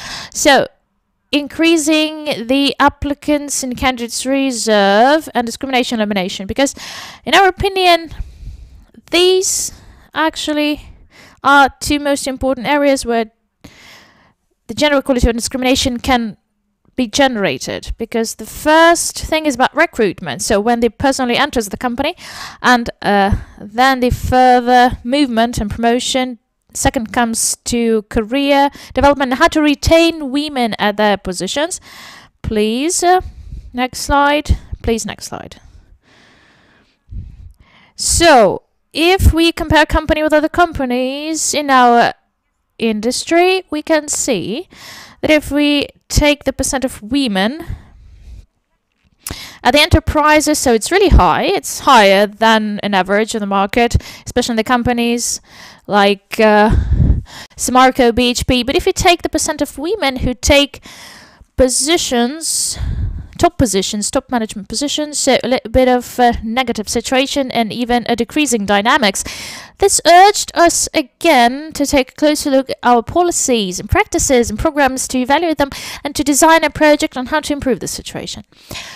Next slide, please this is it. This is the tree that we actually, it is a tree. This is how we understand the advantages, how managers can recognize the advantages when it comes to the role of women who builds the, the career in the company. This is what we build communication in, internal communication. We understand that one of the most problematic issues, our culture, mentality, is that unfortunately we got this as a heritage those barriers that we have today quite often they are based on social and cultural and mental myths you know and a lot of prejudices there usually a lot of bias now currently uh, the situation with the presence of women in top management level it looks like that in company so the highest percent of women we have it Uh, so you can see that 18, 12, and 11% respectively in different sections.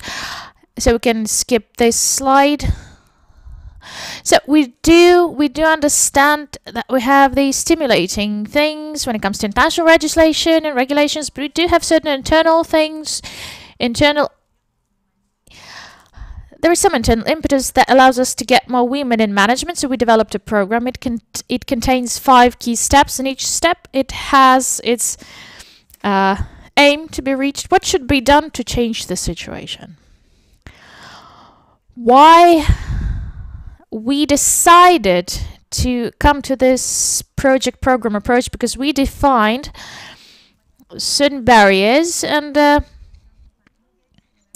negative factors which are the obstructions which do not allow the women uh, which do not allow others to promote women and women themselves to develop their careers. When the company a small example when a person a woman is offered uh, a much better paid job better position, one of the fears that she has inside is that her income level will be higher than of her husband's, you know, and it may bring certain it may generate certain conflicts in the family, or the family will disapprove the woman uh, and call her workaholic because many want women to be good mothers, good housewives. So we certainly have these cultural, internal, external factors that are the barriers that obstruct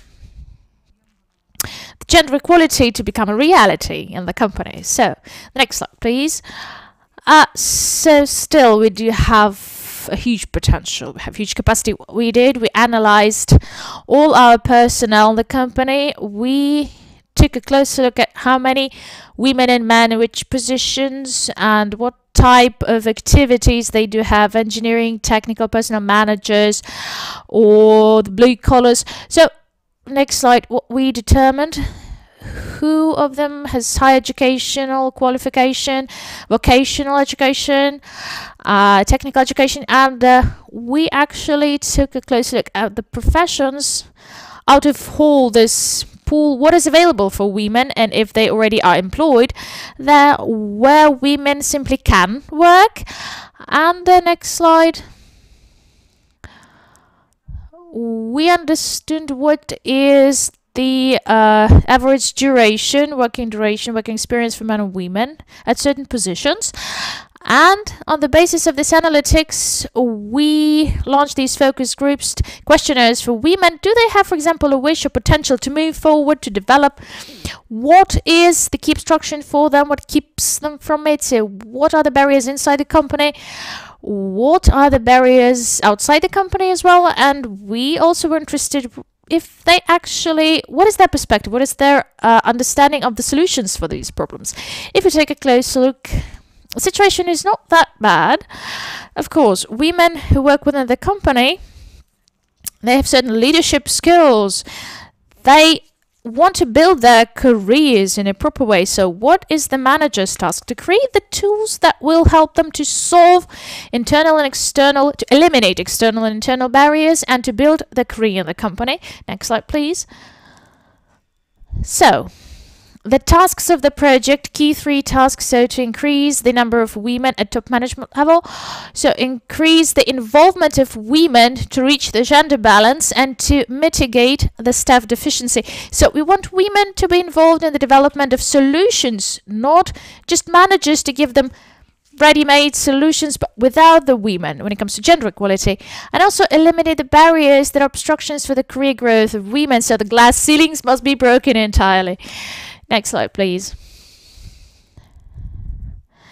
So, uh, we've set the goal, we've set the aim, uh, not just a, as a programmatic effect, but the KPIs for the managers as well. We fixed these and we are implementing it already. So, the next slide.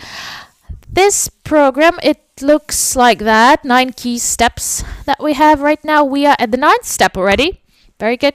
So as I told you, we've done a lot of analytical work simply to understand do women have future in that area, that industry? We have a very good story, a very positive one, because in our company we've implemented a grading system or an annual appraisal. We have 100% of this appraisal for all our employees of both genders.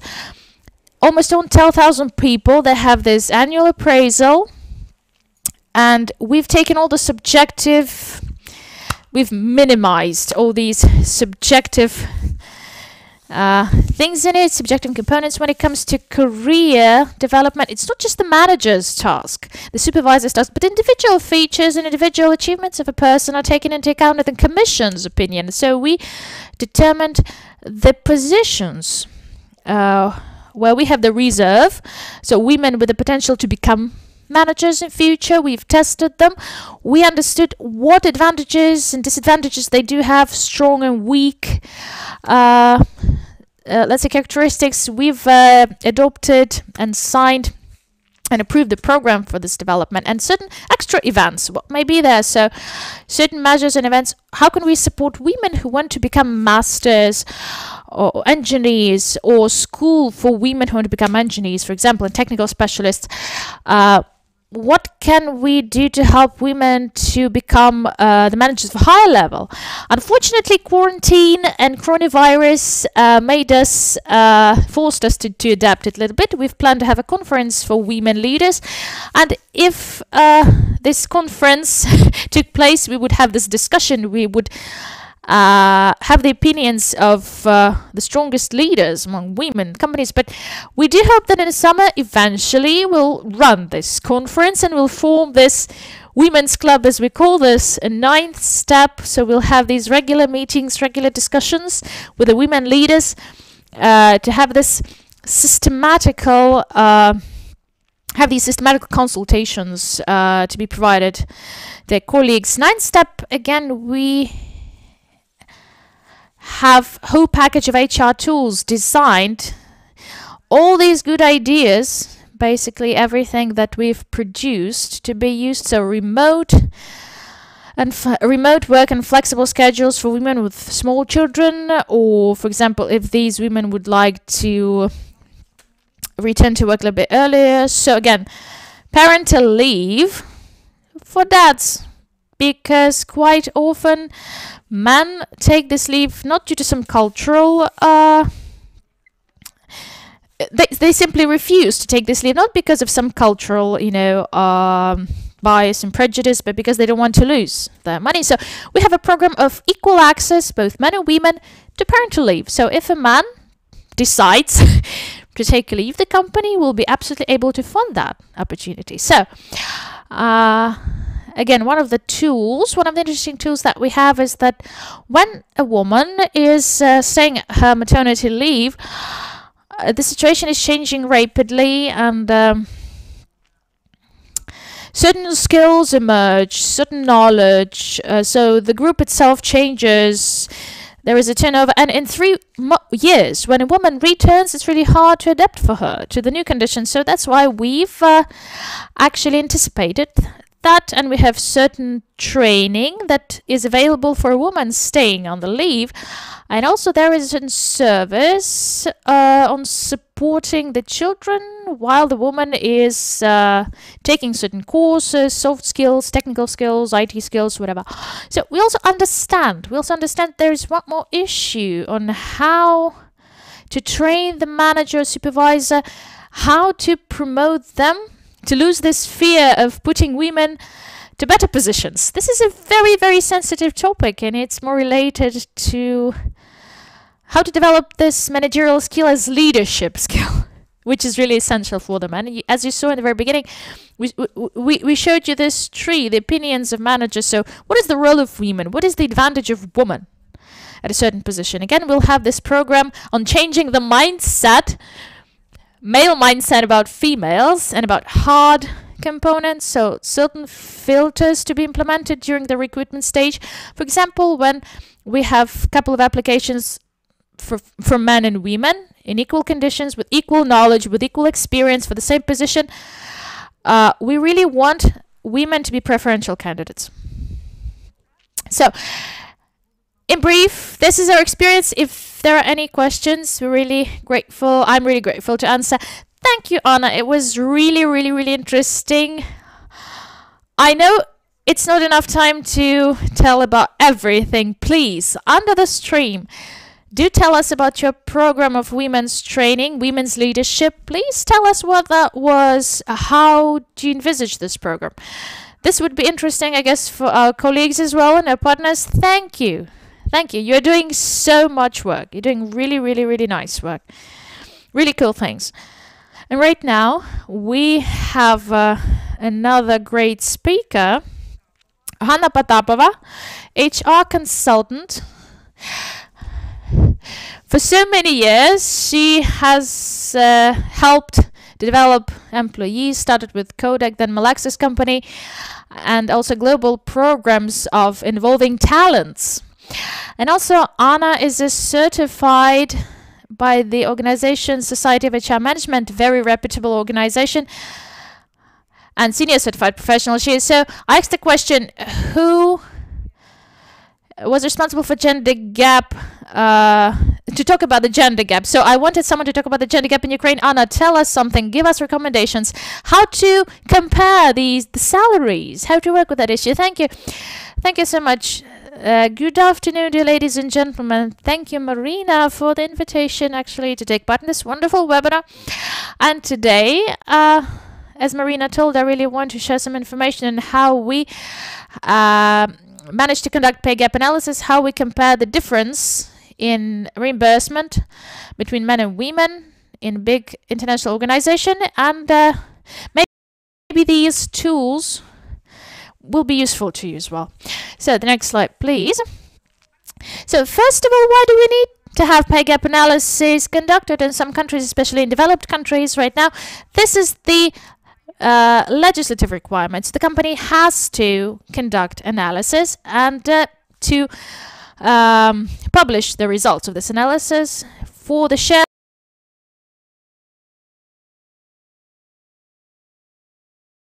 shareholders and for employees and for the public as well. So,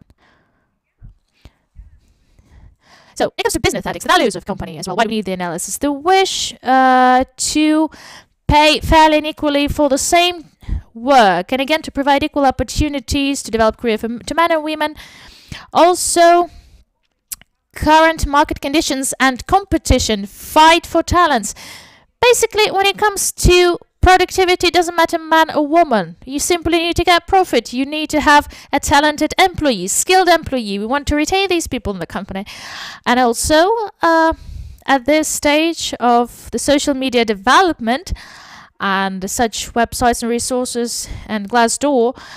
So how to impact the image of the employer, how to change the policies and practices of the company. It also affects the perception of this employer. It also affects the uh, perception of the stakeholders. For example, the Glassdoor, we have the article uh, about the results of analysis, pay gap analysis that they conducted uh, uh using their own data. Next slide, please. So, if we talk about the level, about the pay gap at the level at the state level, according to the Korn Ferry Hay Group survey at the state level, it would be really high.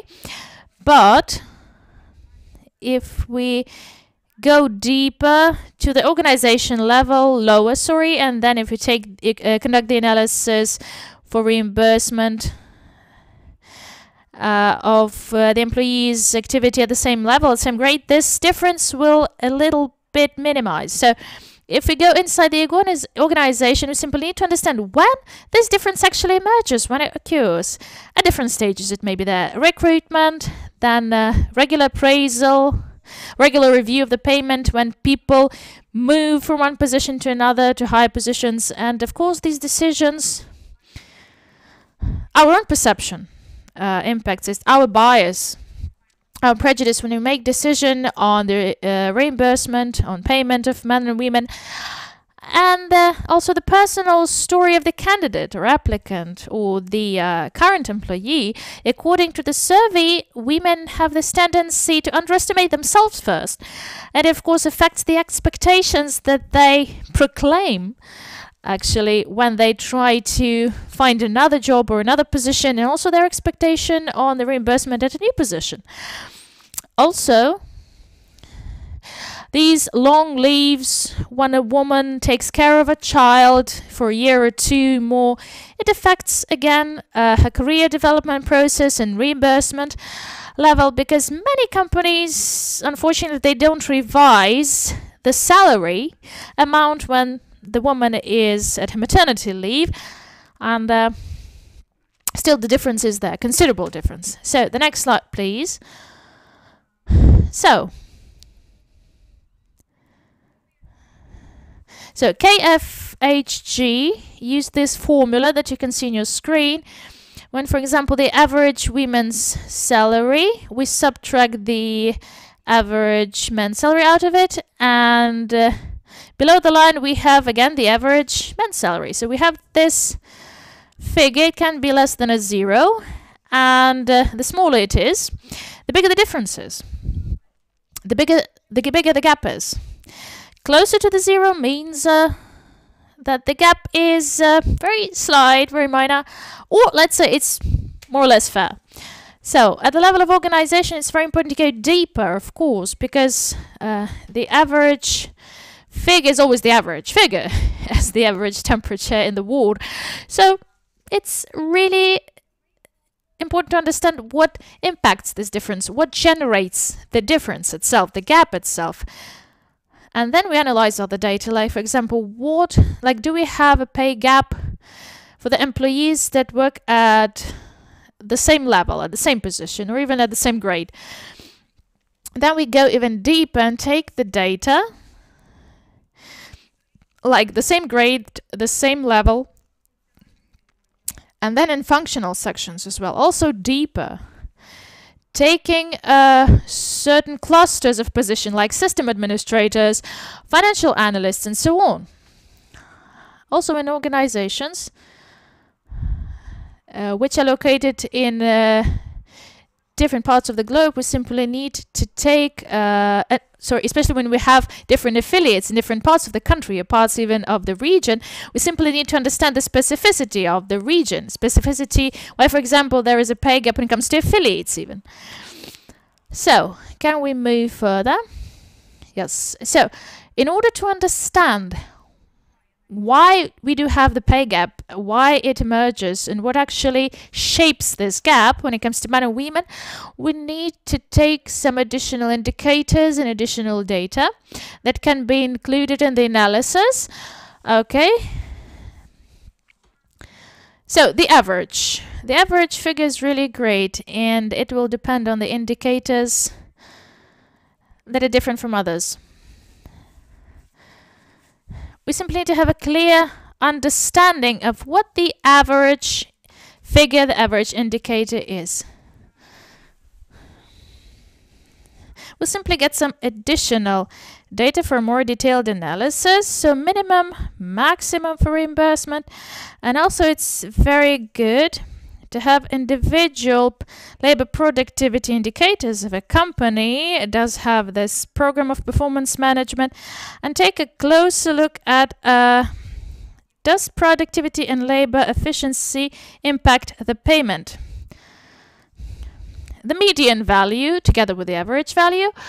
Also other elements uh, and also the total remuneration analysis. Come to this level. So also, the pay gap may be affected by such factors as experience if working in a certain company or experience work at a certain position. Also, what you need to include the labor market data, not just the competitiveness, salary, but also to understand the gender distribution of employees in certain area or industry. For example, if we take uh, miners, let's say, of course, we'll have uh, more men there. It's purely obvious. But if uh, we do take the counting area, it's, uh, let's say, captured by women mostly. So we ha do have many companies that create programs to involve the labor market to a certain industry more women. I know that uh, KSV Center does that. So right now we need to see how women are presented at top management and the best paid position. And just to share the example with you, so you can see you can see here not the absolute data on uh, just relative ones. So the competitiveness of a salary. So in percent, the labor market level. So what is the reason? I simply cannot uh, share the absolute data. The second thing is that this analysis was conducted for the international company. For us, it was really important to, to, to get the whole information, the whole package of information. So all geographical locations, all the employees. Uh, so you can see that at this slide there is a difference between the there's a pay gap for men and women, almost 10%. If we take the general indicators on average data, so so the blue line uh, in the yellow frames, and separate grades are there. 11th grade, please take it, and we can see that there even is a bigger gap. 96 and 112, and the number of employees within these grades basically it's enough it's really it's really enough to say that there is a problem the problem does exist. So what can affect that? What can influence that? What can influence the gap? And for example we can see how these indicators how these figures are affected by the labor productivity. And uh, to those data we also included the parameters of those employees who really uh, present satisfactory and excellent productivity uh, and excellent performance. We can see that there is a pay gap again between men and women. In spite of the fact that they may be highly productive, but still there is a gap, unfortunately. So there is a clear problem. We have something to work on. Next. As I mentioned, and the previous speakers mentioned as well, the presentation of women at top management positions. So many companies right now, they do say that they need to stick to this gender balance concept at the top management level. It's really important to see whether there is a gender balance kept at other positions in the organization. Why? Because this is the staff reserve. This is the background, the backbone that can be in future promoted to certain top positions. If there is disbalance at lower positions, like at the, at the level of mid-management, mm, well, in future you'll have the same disproportion again, and nothing changes. And you won't have enough women, female applicants for the top management positions. So, uh, with this example of this company, this is a tech company, and it's pretty clear that at high tech market, of course, men are more preferential than women. Still, unfortunately, but it's true. So, so of course, we can have the same analysis for functional units as well, and we can see how properly women are presented at different positions like the accounting units, for example, we can check that HR, administrative, and um, quite often companies face this challenge that despite So for example, they uh, take this function, they uh, analyze the function where women dominate, and uh, at lower positions we'll have more women. Um, then we go up and up and up, and at the top level we don't have women at all.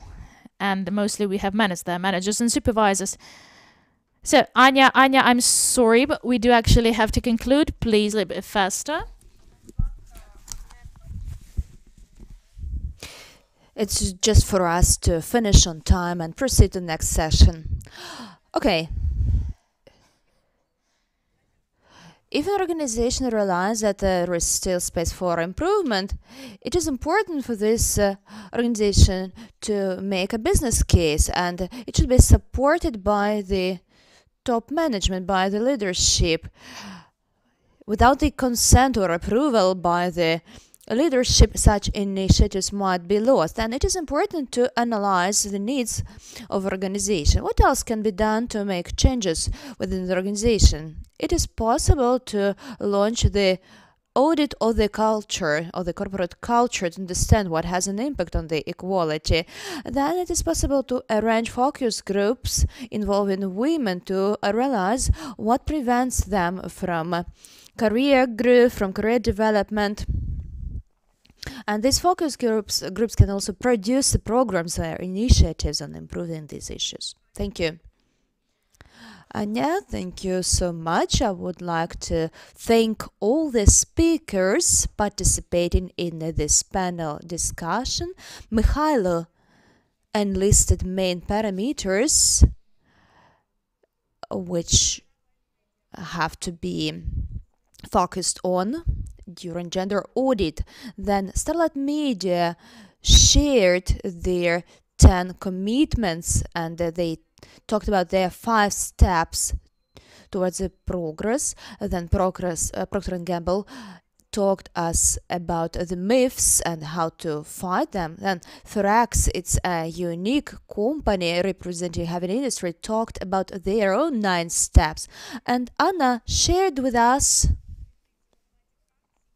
the insights about the pay gaps and she informed us or made some recommendations on what the company can do for tomorrow, for the sake of tomorrow. Of course, uh, we should also speak not only about uh, internal activities but also external activities such as non-discriminative advertising and communication. It's high time for the next panel. I'm so sorry we're running out of time, therefore we cannot arrange this uh, coffee break. But you know, the experience is unique and everyone is uh, willing to share.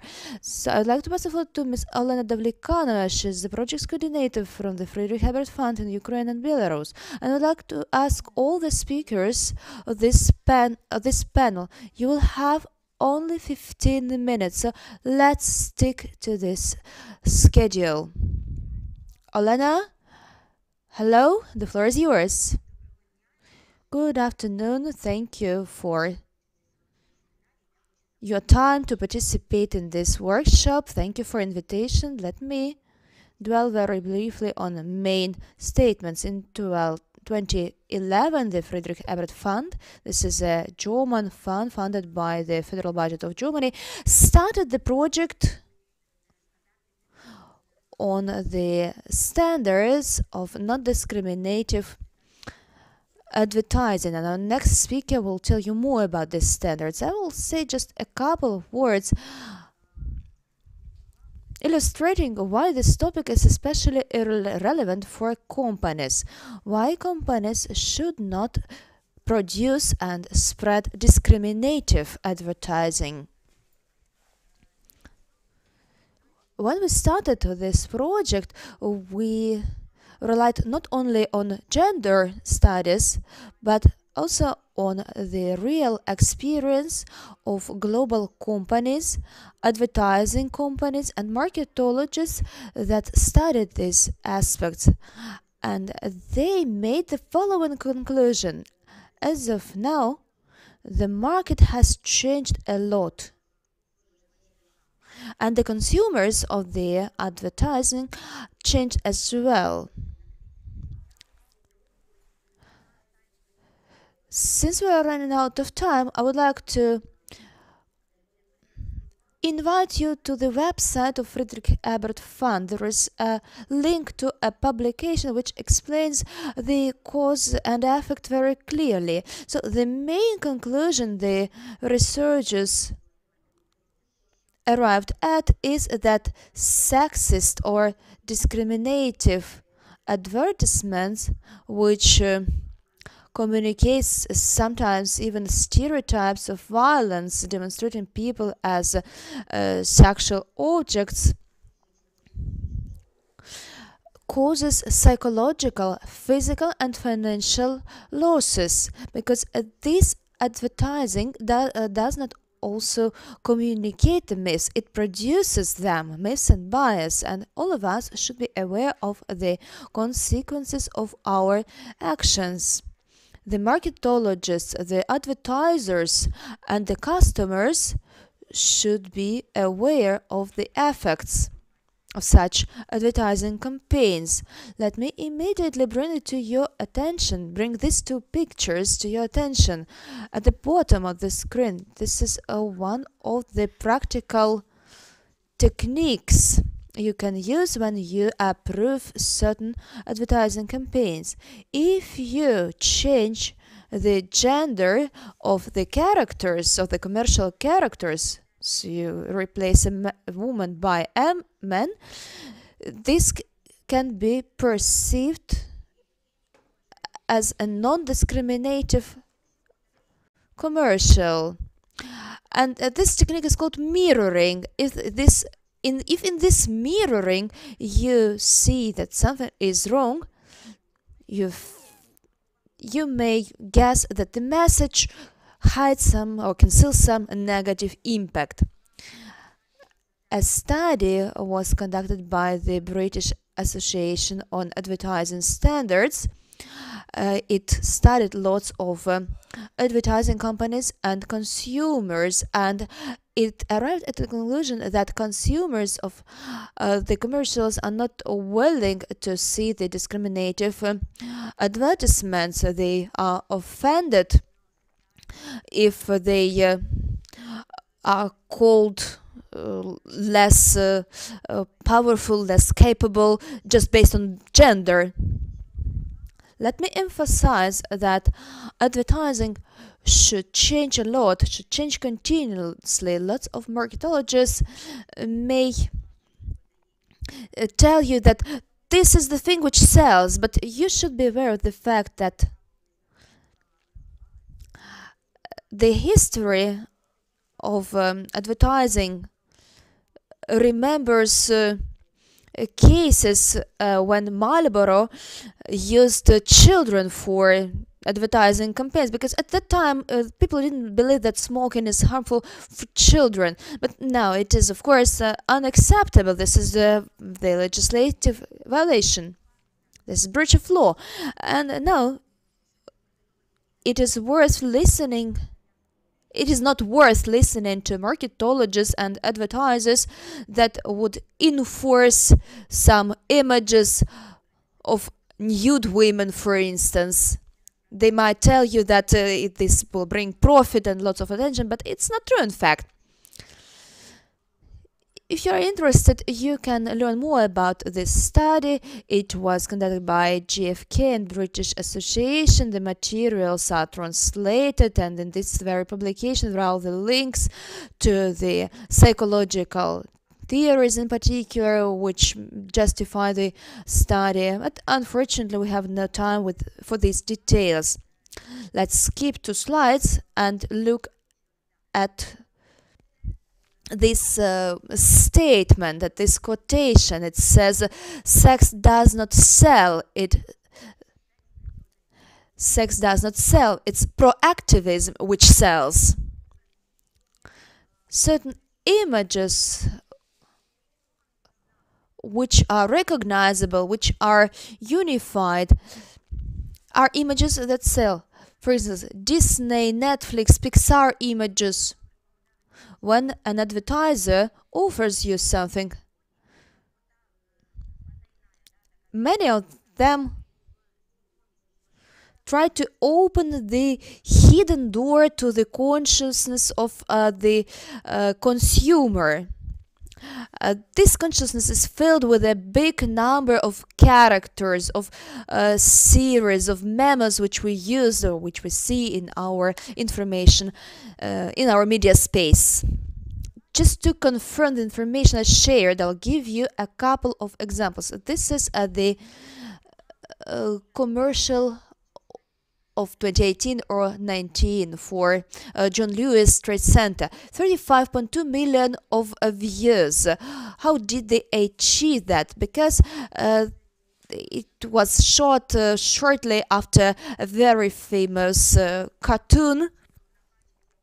As a man lives uh, on the moon and a small girl uh, used a telescope to see him. And in order to communicate with him she bought in this very trade center a telescope and sends him this telescope hanging on the balloons. And this is the start of their communication.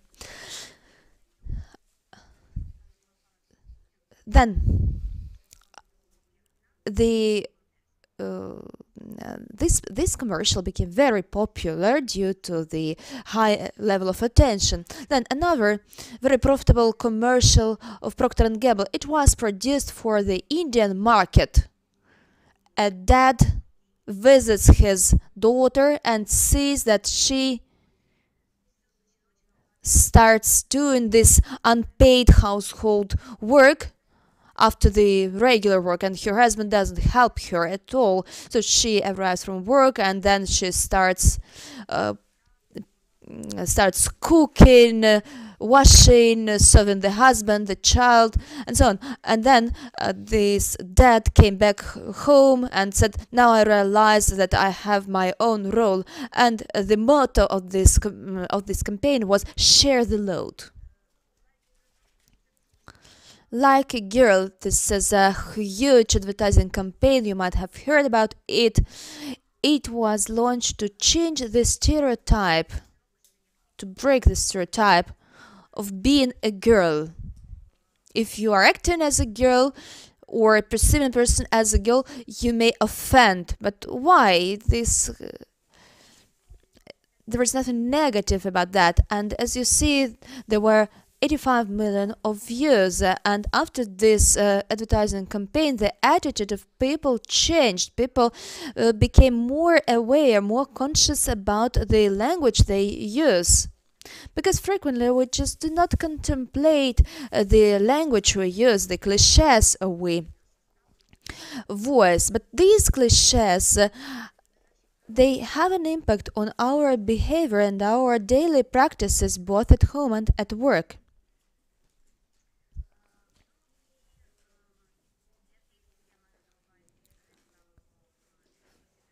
for those who produce commercials for advertisers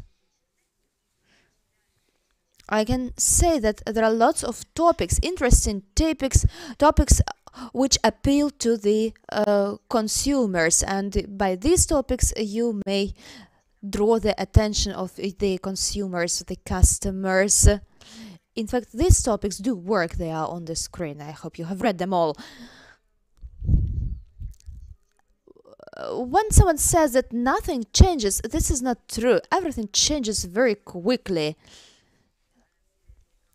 Like, let's take a company Pirelli. You know this is a, a renowned company, and since 2018 they published uh, a calendar a kind of playboy, but since 2018 or even in 2019 they changed the approach to the materials they use in this uh, calendar.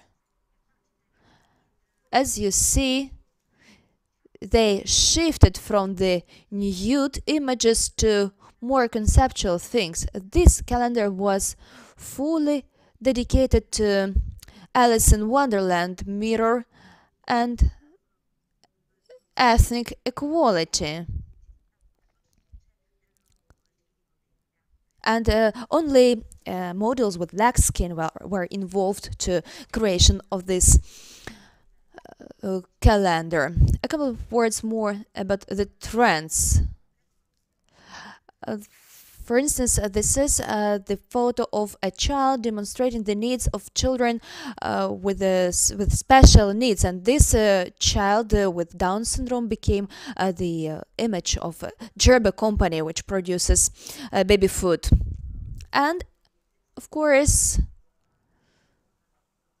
the authorities do not step aside. In Paris, in March 2018, they prohibited the sexist advertising on the billboards placed in the public uh, space. So that's a space uh, which we cannot avoid, which all the pedestrians can see. This is the advertisement by Yves Saint Laurent. Many models similarly with anorexia, were shown as uh, abandoned things. So there is nothing personal about that. There are no criteria by which you can decide what object is uh, what object is meant? So that when people are equal to things. Okay Elena I'm sorry we have to continue because we've got other speakers. I have a big request. Could you please uh, give us a link to the standards and the criteria of uh, advertising you have mentioned if we take the advertising market of Ukraine, there is, uh, if we take the uh, scale from 0 to 10, 0, no discriminative advertising, and 10, a lot. What's uh, the position of Ukraine on this scale? In the 90s, uh, there were about 90% of discriminative advertising and unfortunately there is no sound.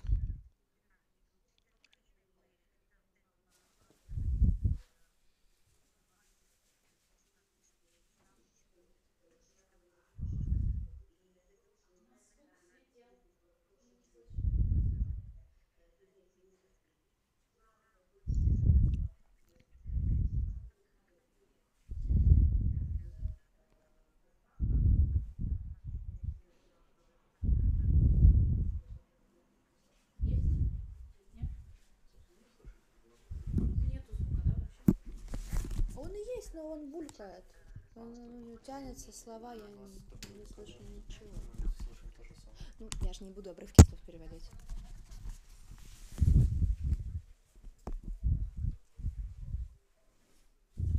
Thank you very much. Now I'd like to pass the floor to Ms. Iryna Lylyk, the head of the Gender Committee on the Advertising. She's the president of Ukrainian Marketing Association. Iryna is uh, a specialist in economy. She will tell us more about uh, a study. She'll tell us more. Iryna, Iryna, hi. You're welcome. You're really welcome. So tell us, please, tell us, please, what you do and uh, What's about advertising? So tell us about the advertising industry. Good afternoon, dear ladies and gentlemen. Thank you. Thank you actually for raising these issues. Such issues as non discriminatory advertising or discriminatory advertising in Ukraine. So, I'd really like to uh, introduce the Industrial Gender Committee on Advertising to you. Please show the next slide. This is the uh, history of our emergence.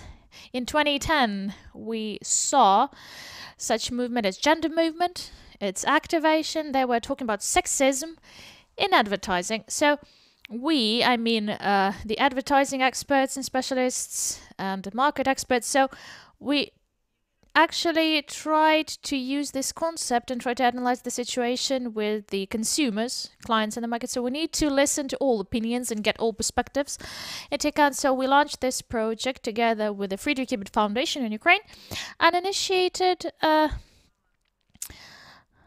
and we initiated the emergence of non-discriminatory advertising standard. We faced, first of all, what we faced, we started this conversation with the advertising market, uh, professional advertising market.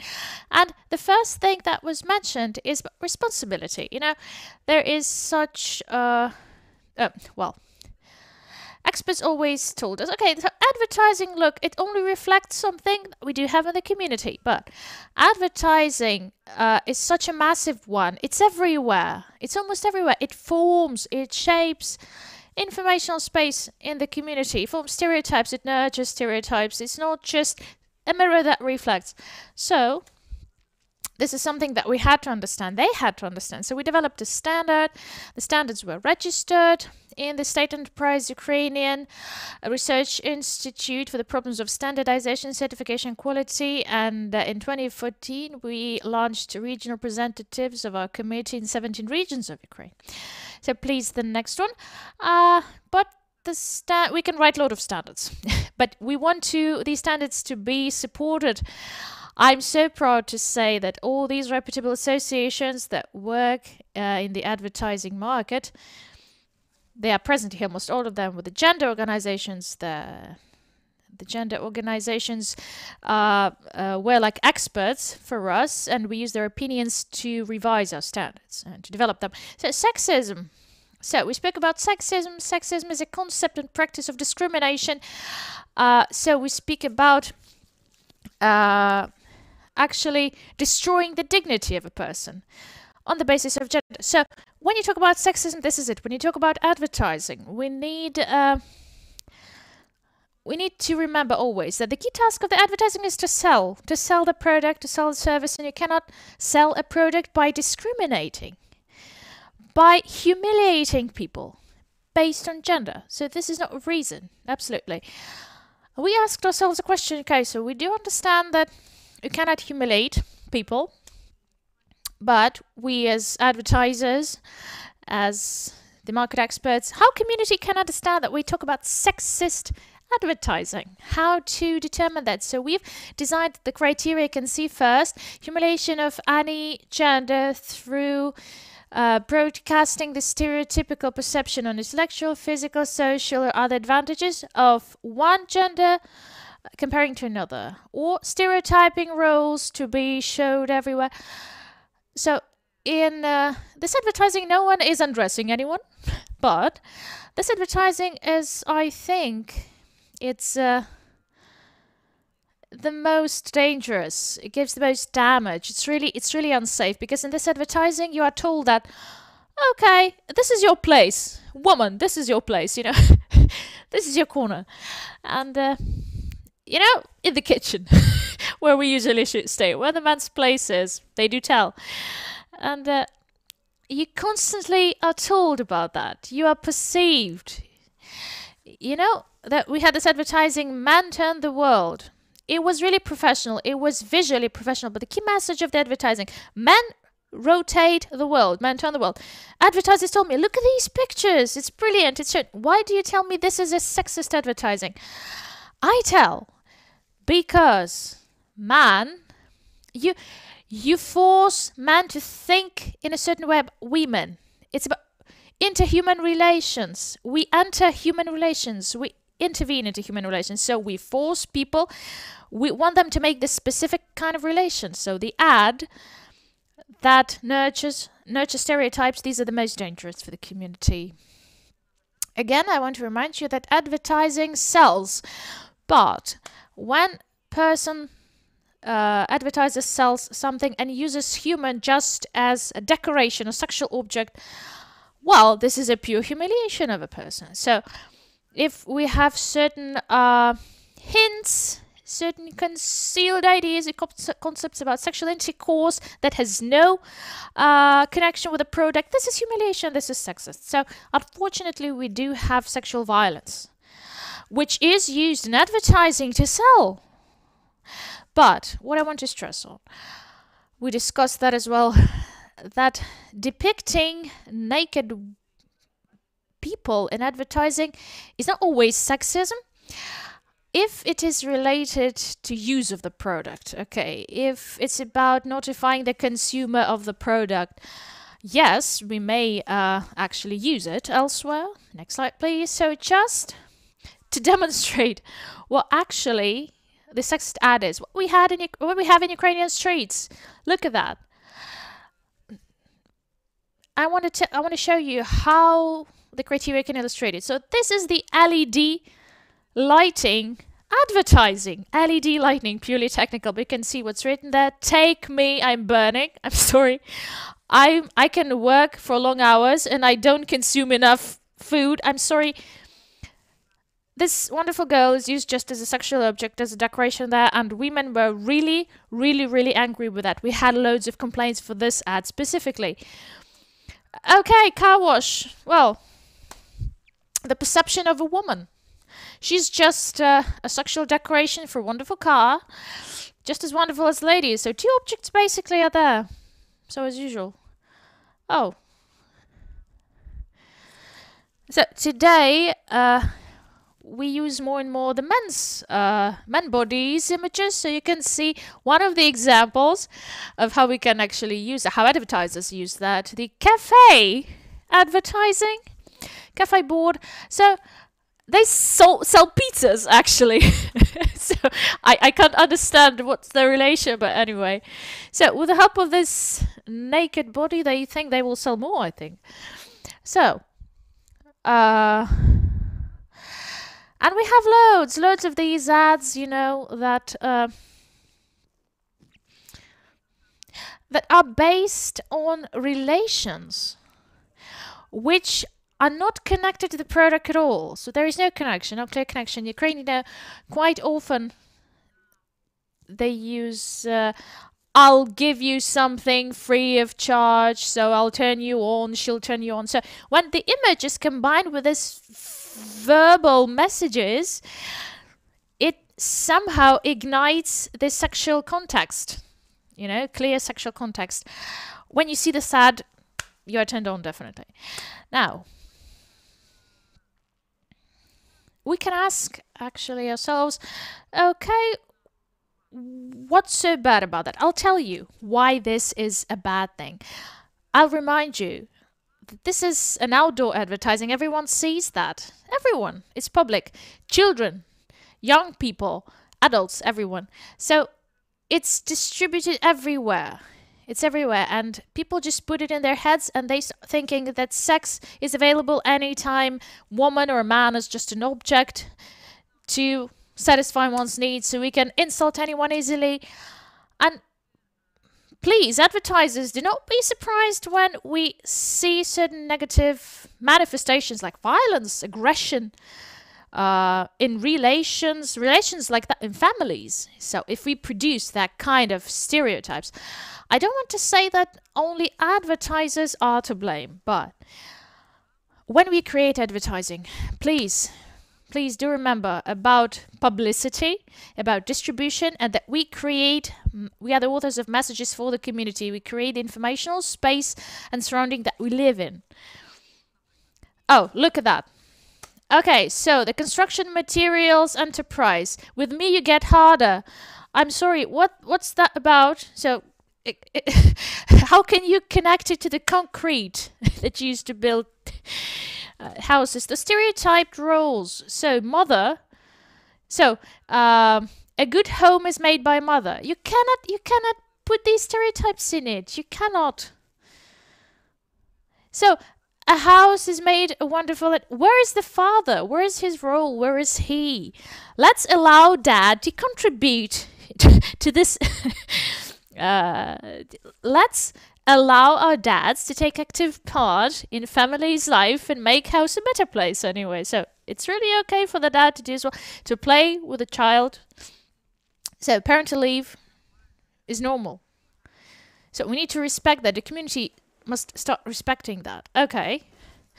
Sexual violence. Just I just want to show you this slide because this is really very, very elegant. Just to remind you, that they simply sell dumplings. Duff with meat is sold with this. okay, the next slide, please. So, how do we work? I just want to tell you how to work. So, uh, we get complaints and uh, we get requests uh, from the State Consumer Protection Service of Ukraine. Um, just to provide an expert's opinion on certain occasions. So this is the statistics only for 2019. 200 complaints fewer than we had in 2018, we can compare. So 200 uh, we got in 2019. We acknowledged 148 ads as discriminatory, 125 expert opinions, and uh, in total, we've stopped 130 sexist campaigns. Unfortunately, Ukrainian state consumer uh, protection service cannot simply prohibit and impose fines. But 130 of these campaigns were stopped with joint efforts. This is our achievement. So the next slide, please. This is the slide that we took uh, from the State Consumer Protection Service of Ukraine. I just want to show it to the manufacturers. So there is a myth. There is a myth that fines are minor, fines are very small. No. So look at that. Look at that. It's just with the sexism. So this amount goes only for the sexism, but we have much, much more. So it's really considerable. And today we talk and we really have this fruitful cooperation with the Ministry of Social Policy, with the Friedrich Ebert Foundation on bringing the amendments to uh, legislation and advertising. When in 2011 we adopted the standards, I simply thought that it would be really nice to have the act of market self-regulation for the market actually to stop producing that kind of ads. But unfortunately, it's not enough. It's appear it appeared not to be enough. And when we talk to advertisers and ask why it's still there, they say, okay, standard is a very good thing because the standard gives us an opportunity to show the advertiser that this uh, that, that this product can simply be large, distributed. But when advertisers tell where exactly in the law it is told that uh, wh where there is a definition of discriminatory, gender-based discriminatory advertising, there is no such definition in the law. And they simply state that if there is nothing like that in the law if there's no definition. So only with self-regulation acts you cannot simply uh, implement this policy in the market. So we really, really, really uh, put a lot of efforts to have this definition, that clear understanding that this is prohibited, okay? So the next slide, please.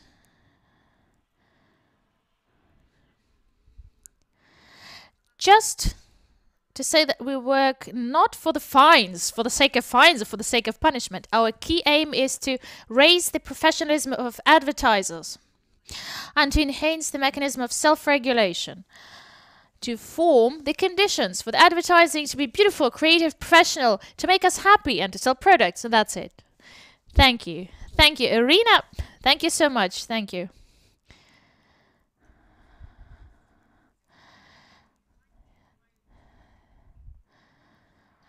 So how many fines do companies need to pay for that kind of advertising? What the fines are? This is the question.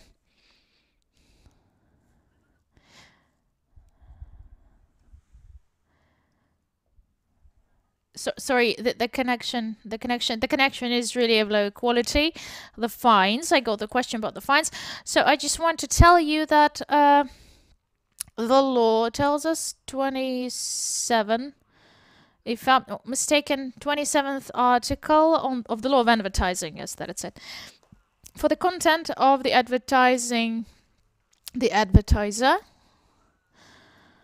so, sorry, the uh, the manufacturer of the product who actually requests the advertising.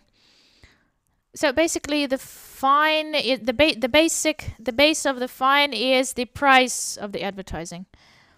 So anyone, any anyone can actually file a complaint. Please, if you do see something inappropriate, Industrial Gender Committee on Advertising, you have the contacts. Please. We'll cooperate with you together. We'll try to fix the situation. Thank you so much. Thank you, but we have to say goodbye. Thank you for your presentation. It will be available. And right now we come to our next speaker instantly. So Tatiana Fuley, gender expert, she's PhD in law, and she'll has the role, she'll actually uh, draw the line She'll be the last one in this uh, panel session. So, Tatiana, please briefly, if it's possible, tell us about the key criteria. If you don't read the standards, how to distinguish, how to distinguish, how to set the line. Where is the watershed moment? Good afternoon. Good afternoon. Thank you for the invitation.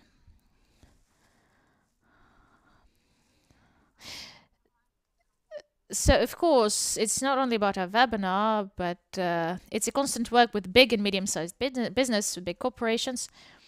So we previously focused on organizations uh, state organizations and private business but it's very important to work with the discrimination issues with all of them. So i'd like to state that discrimination itself, the algorithm of determination of discrimination, how to distinguish it from uh, the violations of labor rights or social rights.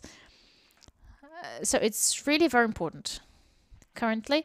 If a couple of years ago we've uh, noticed that citizens uh, actually were objecting the fact itself, right now we can say it's it's quite a trend, and quite often we have complaints that I'm being discriminated. We do have it.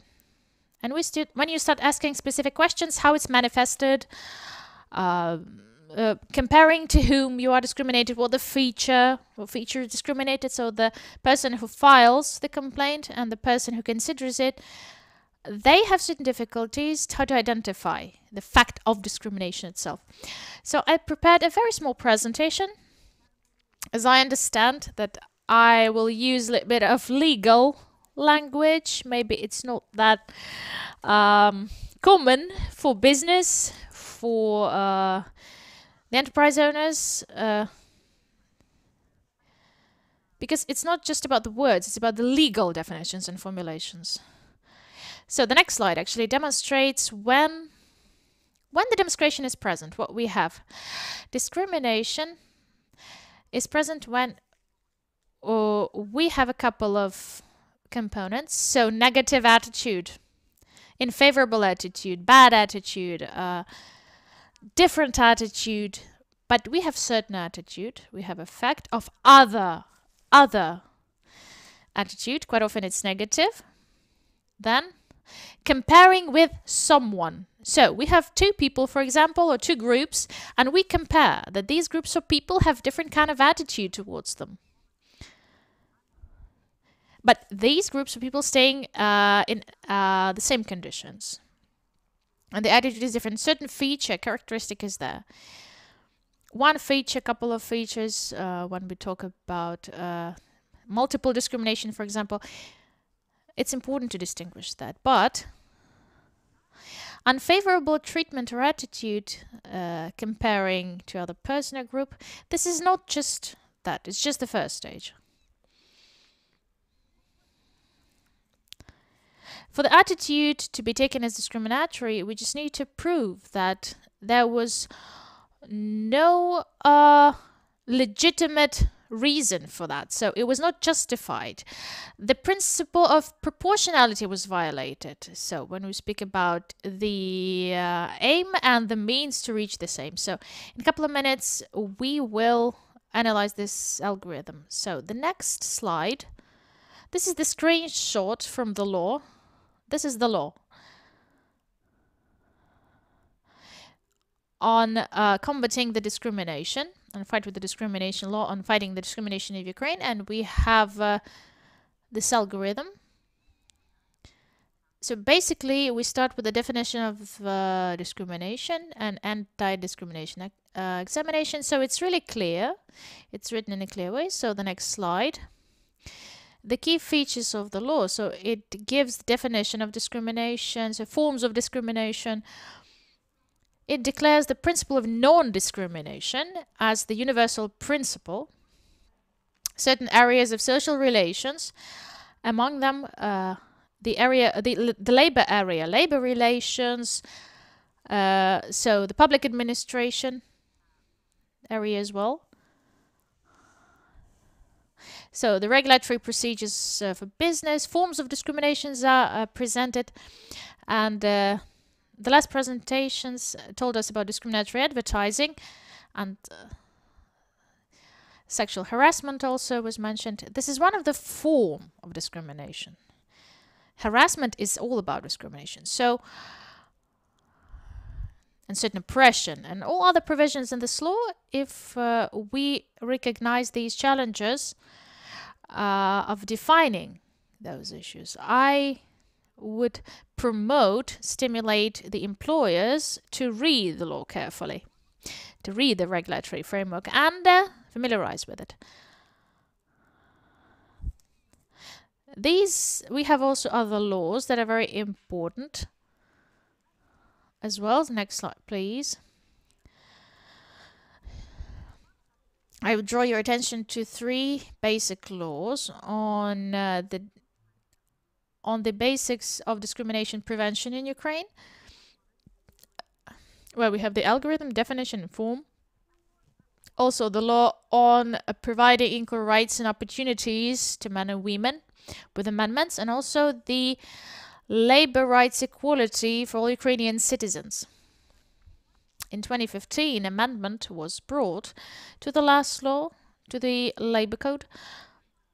A new article appeared there. Article 2.1 no, this is not the law, but the article that brought to the labor code equality of labor rights of Ukrainian citizens. So the concept changed, which uh, promulgates equality in equal relations and concerning equal rights. And for employers, I think it's very important. Also, the protective features that we have in the law, they are they actually specify the people with certain family duties and that may be important as well. So the next slide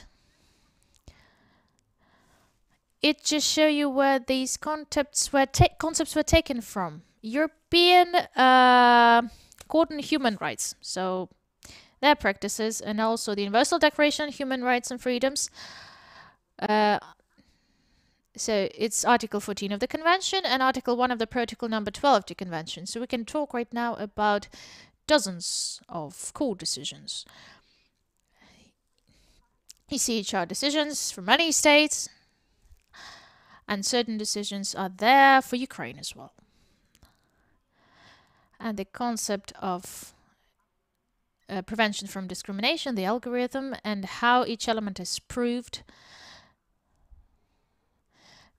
Basically, the ECHR practices, this is uh, where it all comes from. So the next slide, we go back to, so we can skip it.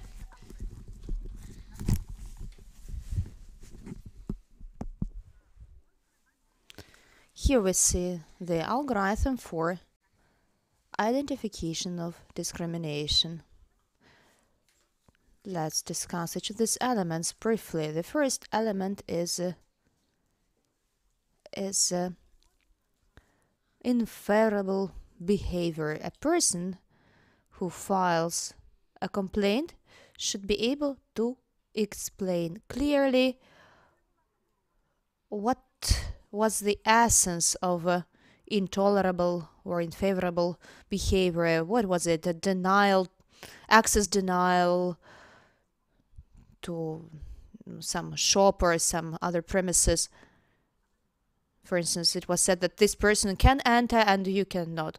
Or there might be a proof for a pay gap or a annual leave denial then the second element of algorithm is uh, the comparison. Who is the role model in this case?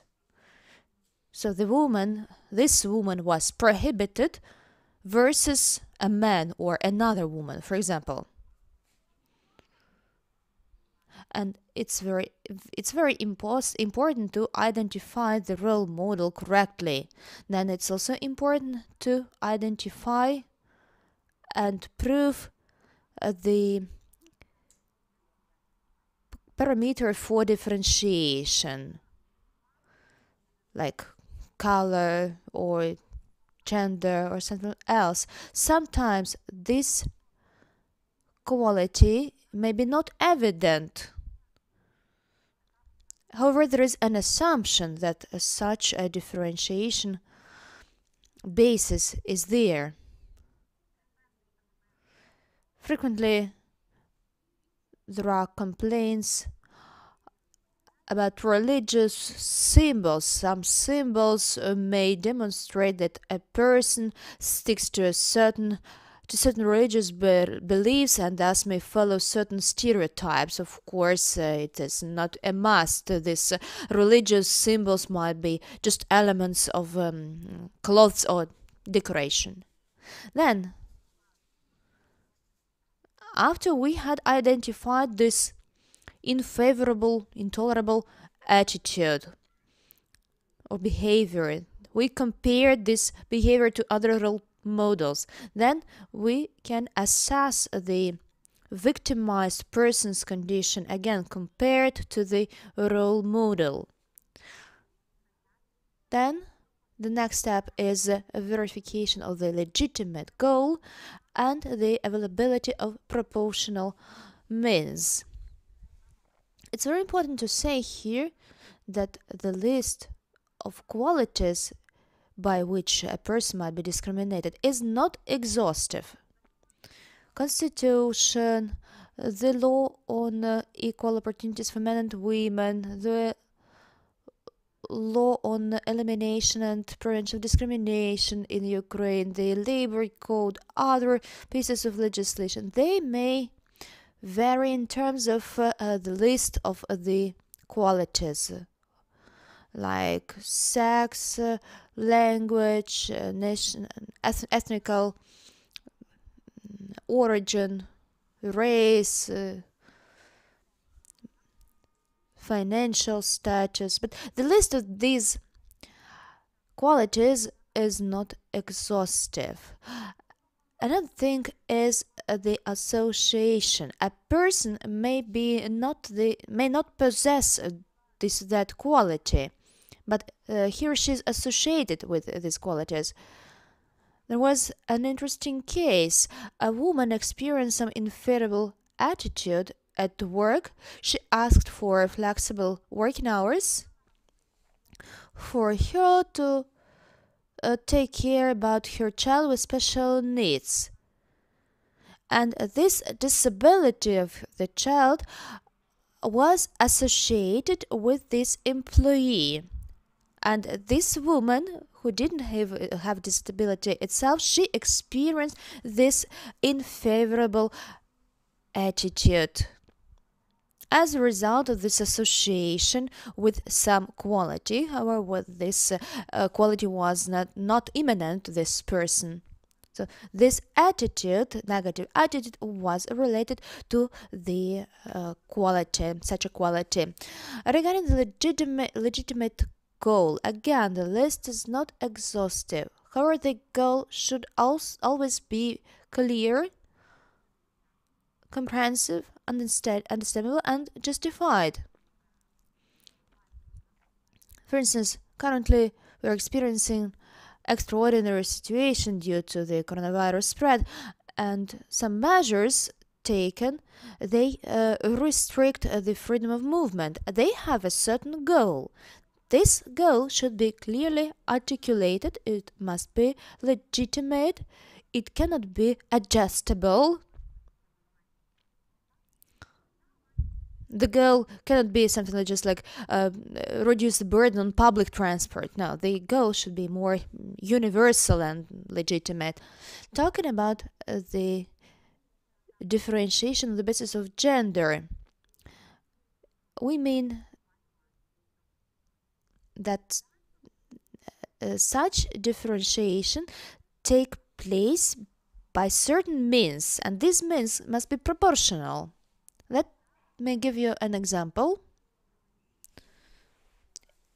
It was a very important case, important decision taken by uh, the European Court of Human Rights.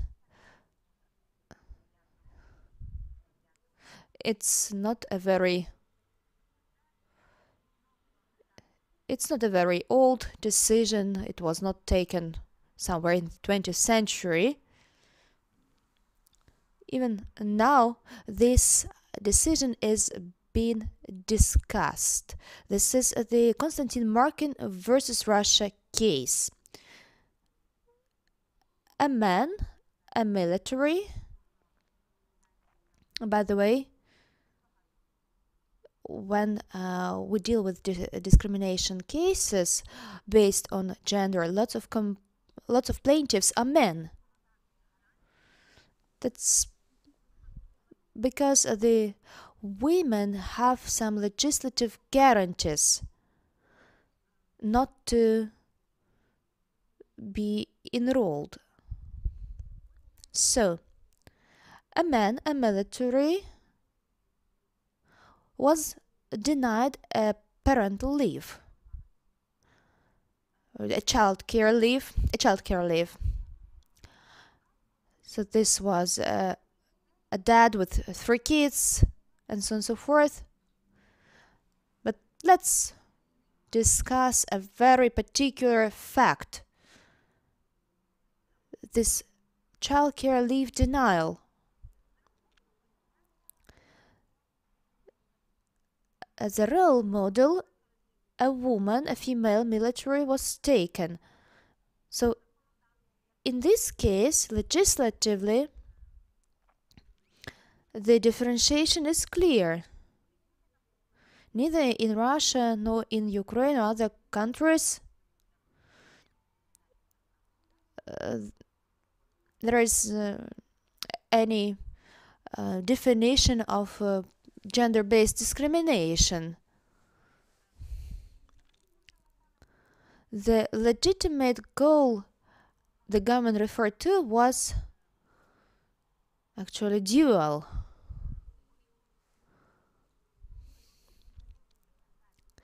In the previous presentation, there were lots of uh, examples of commercials, of videos. Tatiana, I'm so sorry, but I have to ask you to wrap up because people have been waiting for three hours and we have to make a break. We still have one question, so please wrap up with this case and we have to finish. Thank you. Just three sentences and I'm ready. Just for you to understand what was the essence, what was the essence of the evaluation. So the government referred to two arguments to justify the goal. First, traditional role of mother in raising children. The European court said that we cannot refer to traditions and stereotypes regarding the traditional role of mother in the modern society because gender equality is one of the values of uh, the Council of Europe. And the second argument of government was a special role of a military of a serviceman. Uh, the European Court said yes, uh, such an argument might be relevant, but uh, the measures taken uh, should be proportionate and since all the servicemen, service persons all the service uh, service persons should be able to get this uh, parental leave. If a person uh, had been in a unique position, this might have been a justification. But this man worked in uh, in the uh, radio intelligence unit. His colleagues were women, and women, his colleagues in such a situation, would have received this leave. And the court made a decision this was uh, the violation of the 14th article. This is a very logical end of the story. And Tatiana Martinyuk asks you the military service, uh, the mandatory military service for men, is it discrimination of men or women, or is it something else? No.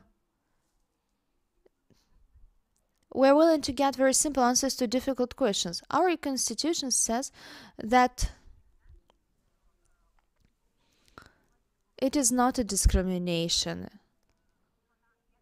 The military service is the constitutional duty of men. At the same time, we realize that gender standards are closely related with cultural standards.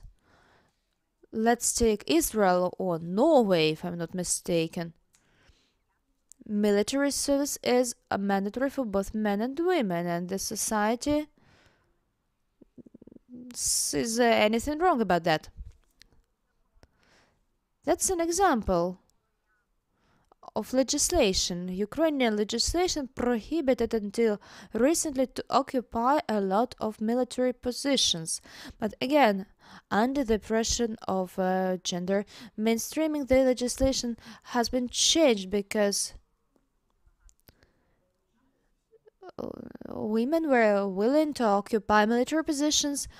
They are not willing just to be cooks, chefs, or housekeepers. Thank you very much, Tatiana. By your report, we are ready to finalize this session. We learned about the algorithm for identification of discriminative actions. Ms. Tatiana talked about that. Then we also learned about uh, the standards and criteria of non-discriminative advertising described by Ms. Olena and Ms. Iryna. Thank you very much. Now we're going to have a 10 minute break. Let's meet again at 10 minutes to 2.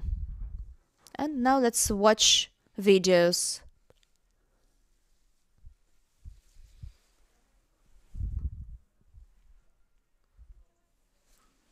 We announced the opening of the International Forum for Business, Corporate Practices on Gender Equality and Preventing Domestic Violence.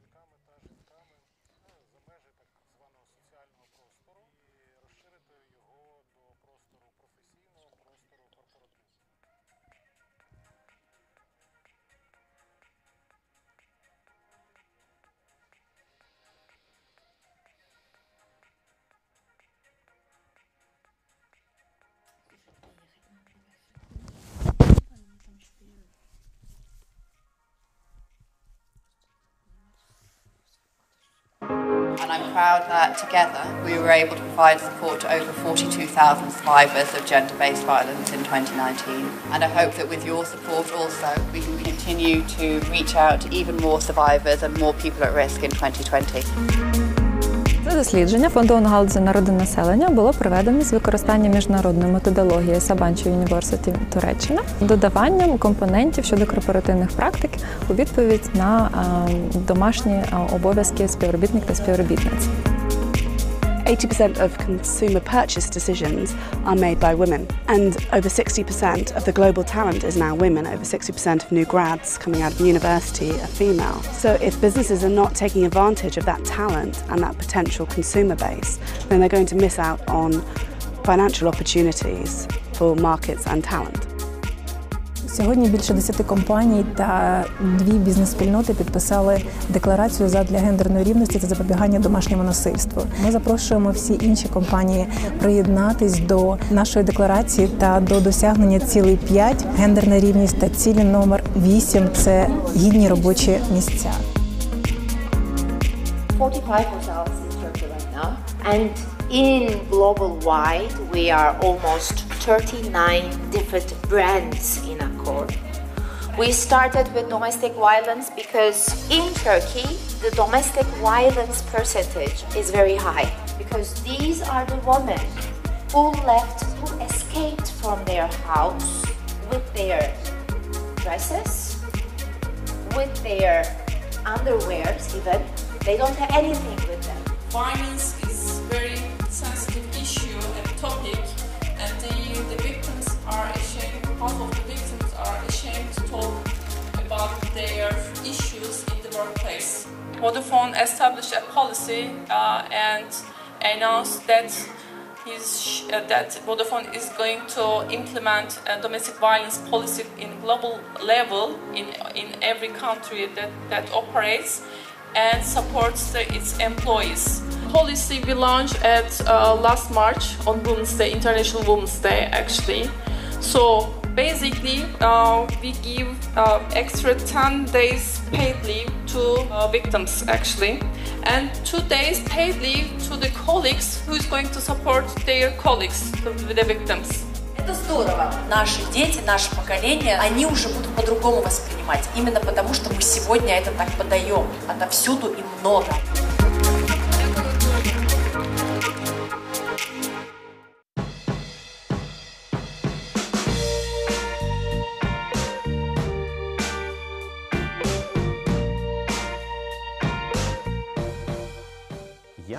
Вообще родителей разделил а, не по половому признаку, а по а, адекватности. То есть адекватный... Кто-то адекватный, неадекватный? Нет. Как а бы... если оба адекватные, вот, любая неадекватная? Вот, правильно. Если оба адекватные, то тогда не будет у отца вот такого там, да, это она должна, там, пусть делает. Возможно, я не прав. Вот, и вы меня исправите. Но я считаю, что э, э, залог э, хорошего, там, правильного, скажем так, долголетнего супружества, вот, как родительство в партнерстве. Вот в полноценном и парно, и полноправном партнерстве. Даже спорить не буду. Это 50 на 50. Но это должно быть тогда 50-50 во всех смыслах и во всех отношениях. А не тогда, когда кому-то выгодно, здесь мы 50 на 50, а вот здесь вот, извините, э, как бы ведь я мальчик, э, вот или там, а я девочка, вот поэтому мы здесь там 50 на 50 не можем. То есть если э, это действительно полноправное партнерство э, без юлений, вот, то тогда все будет хорошо. То есть тогда и ответственность делится 50 на 50, а, тогда и время, которое вы тратите, допустим, на собственную карьеру, оно делится нам как-то 50 на 50. И время с детьми, то есть я не беру какие-то там отступления, а, там кратковременные, фрагментарные, а, когда, допустим, там вот две недели Ваша прошло. супруга работает? Да. Это отлично. То есть вы э, разрешаете, или как вы как это э, позиционируете, что это вы ей разрешили, или это ее Нет, выбор? конечно, это ее выбор. О чем это говорите? чудесно. Потому что Да. многие считают, что это вот я с ней зашел, мужчина, и дал ей Вау. право работать. Не, слушайте, это рабство. Это, Мгм. это какое-то рабство в 2018 году, если такое происходит. Увы, мир такой. Но, опять-таки, если такое происходит, знаете, кто в этом виноват? Кто? Конечно, женщина. Как же? Потому что она позволила. Потому что Ага. она позволила с собой так поступить. А как она должна поступить, не позволив? Вот он говорит, нет, ты будешь дома сидеть, борщи А, варить. Ну, она должна сказать, я не хочу сидеть дома и варить борщи. Мне это не интересно, у меня есть свои интересы. Пошла вон. Хорошо. То есть э, нормально. Да, да, естественно. Нет, она может остаться с ним и быть несчастной до конца жизни. Но давайте выбираем, как бы, если не хватит э, смелости и не хватит И храбрости, она с двумя детьми идет куда? а уже с двумя, Допустим. То есть как бы до двух детей она не смогла понять, что ему надо от нее только К борщи. сожалению, бывает и так. Я сталкиваюсь в своей жизни с большим количеством женщин, которым приходится очень долго разбираться в этом. Да, они могут, опять-таки, право на ошибку мы оставляем за человеком. Нет, нет, естественно, оставляем. Вот, Естественно, вот оставляем. она ошиблась, у нее уже двое детей, А, ну, они маленькие. Тогда смотрите, э, ну, а, Или он мне э, кажется, мимикрировал, он был Нет, таким правильно, э, на- хорошим, и понимающим. такие бывают. А потом раз и изменился, говорит, нет, я вообще планировал, что ты будешь сидеть дома, не работать, и что дальше. Красавчик. А ему какой смысл жить с несчастливой женщиной? Мне просто интересно.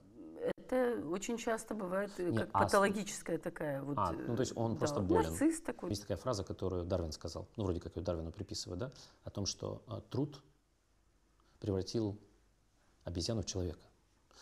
Вот так вот, а вот отсутствие труда, отсутствие там социализации, да, общения с людьми, там а, какого-то наличия там какого-то дела, да, в твоей жизни, если то дело, которым ты занимаешься сейчас, а именно варить борщи и заниматься детьми, не приносит тебе удовольствия. Вот это очень важно подчеркнуть, потому что если тебе это приносит удовольствие, ну так что ж тогда там класс, ты нашла свое призвание. Но если ты это делаешь через «не хочу» и через «не могу», вот, то в конце концов твой муж придет к тебе спустя какое-то время и скажет, слушай, ты такая тупая стала, вот ты вообще превратилась в обезьяну, мне И- кажется. и таких- А у меня вот как раз на работе, на работе. Зиночка. Зиночка, ну, э, там, ну да, пусть будет Зиночка, ну, вот, не очень распространенное имя, а она такая, понимаешь, вот прям вообще, она одна, да, как бы ты-то что, на мои деньги живешь?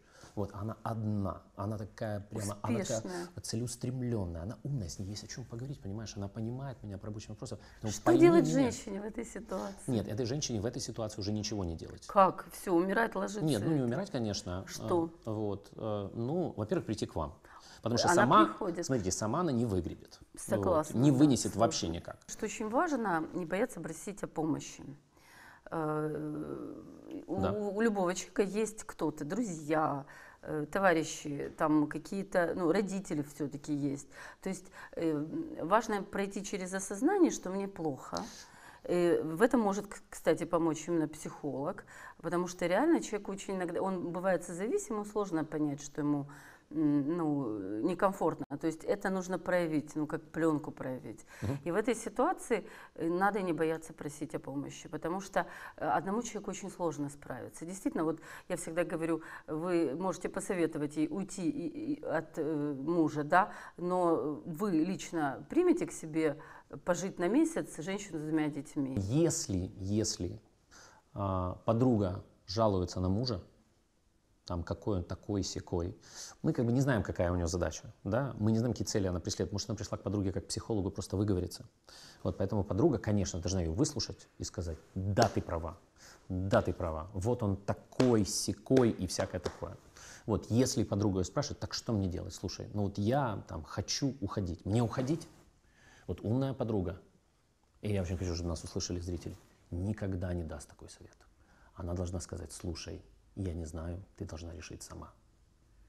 Will tell, sorry, I do not know, that's your decision. And I don't think that in this situation this will be the end of their friendship.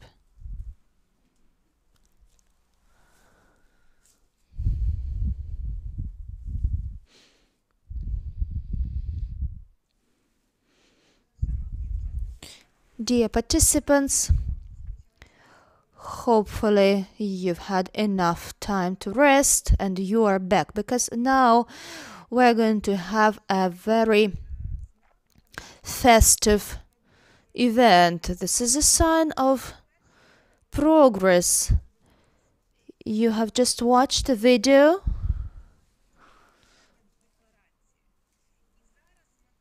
In this video, a declaration was signed and we would like more companies to sign this declaration, the declaration on uh, fighting domestic violence. Let me remind you of the declaration the companies sign.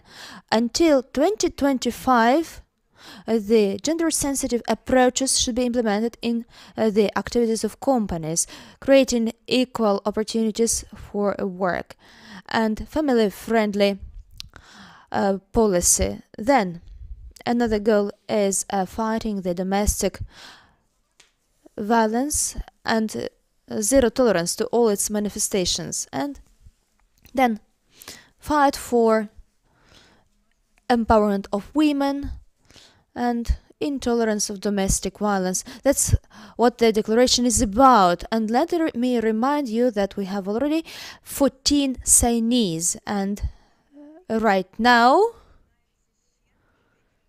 some other companies and even business associations are going to join this declaration. The European Business Association will be the first to sign it. Okay, actually, they were really willing to sign it. They uh, unfortunately do not have uh, opportunity to uh, join our webinar, but they said that they are very eager to sign the declaration and implement it. Then, next, a very cool company, Kernel, is going to send the declaration. This is the HR department head of this company, Natalia. Hello. Good afternoon. Thank you very much for this opportunity. This uh, declaration on gender equality and uh, combating uh, domestic violence is very important for us. Our company runs business in Ukraine and we are interested not only in financial performance but also in long-term and sustainable development of the country. The gender equality and cultural diversity opens a big potential for our business and other businesses. Um, the more people have equal rights and equal access to different positions, development, working terms, the more opportunities our country will have.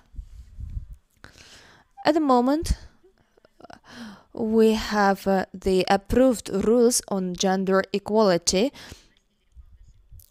We have uh, a code of ethics which uh, eliminates all kinds of uh, harassment and violence toward our employees. We've got a hotline which any employees may use to report any of the cases. We also implement the policy on gender equality and cultural diversity. According to this policy, all the employees had the right to their own visions and beliefs, irrespective of their age, gender, status, and so on. So these rules were adopted about a year ago, and we follow them. And signing this declaration is another chance for us. It will help us to make progress. We are a leading company in agribusiness. Our actions are important for the entire Ukrainian agribusiness, agricultural business. We are really eager to sign it and we hope we will become a role model for other companies. Natalia, could you sign it now and show us? I'm really sorry. I failed to print the declaration out because I work from home remotely, but definitely we will sign the declaration and uh, you have my word. The obligations, uh, the commitments are very important for us. We are going to comply with them. Of course, we had no doubts.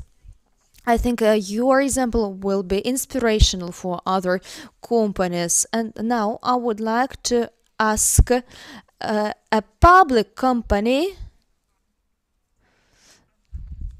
a state owned company, to sign this declaration. This is Olga Lepchenko representing the company. Good afternoon, everyone. We are market operator, we are a gender balanced enterprise and we eagerly supported the initiative launched by the UNFPA, British Embassy and uh, the uh, center. Today uh, we signed the declaration electric um, electricity or energy market has always been considered as a um, male occupation, but uh, the experience showed that it might be also interesting for women. 60% of our employees are women, and many women occupy also top management positions. Uh, we believe that uh, uh we, as the market operator, as a European level uh, company, uh, should comply with uh, uh, the European or in global principles. So thank you for raising such an important topic. We have signed the declaration and we will send it to you in the nearest future. Please show it closer. Lift it. Yes. Yes. Thank you. So we see the signature. Uh, yes. A round of applause from everyone watching and the previous signees, I'm sure that uh, the signees, other signees are always also glad to see other companies joining. The next company uh, will be a bank, Bank, and this is uh, Janina Olchovska, uh, the uh, the head of the corporate responsibility unit. Please, uh, a couple of words from you. Uh, good afternoon, dear Maryna, dear colleagues, dear uh, participants and uh, audience. We are very glad to join this declaration. This uh, issue is really relevant for us. We are a stable financial company and since 2009 we have been caring about uh, gender policy um,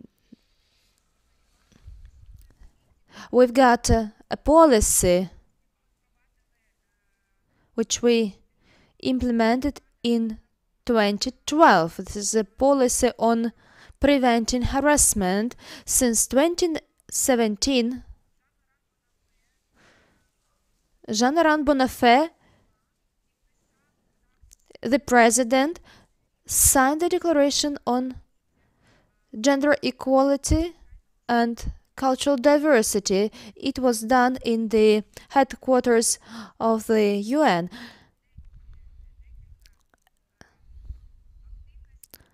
Several activities were launched after signing this policy. to take the necessary steps. We, as a part of the group, have already implemented several measures in 2019. We launched a specialized program for women women entrepreneurs, women in business. It was a, a, very successful program. And this year, in spite of the virus, in spite of the crisis, we will continue this program. Speaking about our girls, we've got 67% of uh, uh, women and girls, and we've got 59% of women occupying managing positions. We have also a so-called women club. We've got a centralized program of uh, leaders for tomorrow. We have already signed the declaration. Let me show you the signature. It's here. We are working in a distance manner remotely and I currently work at the branch of the bank. This declaration was signed by uh, Andrei Bishmeruk, and we have passed you this copy of declaration. Thank you very much. It's so cool that uh, an international bank like yours joined the declaration. We know that you are always supportive of these progressive ideas. The next company is Danone Ukraine. Unfortunately, they failed to join us, but due to the technical opportunities, they shot a short video. We will see it on the screen and uh, uh, we will have a speech by uh, the HR department head.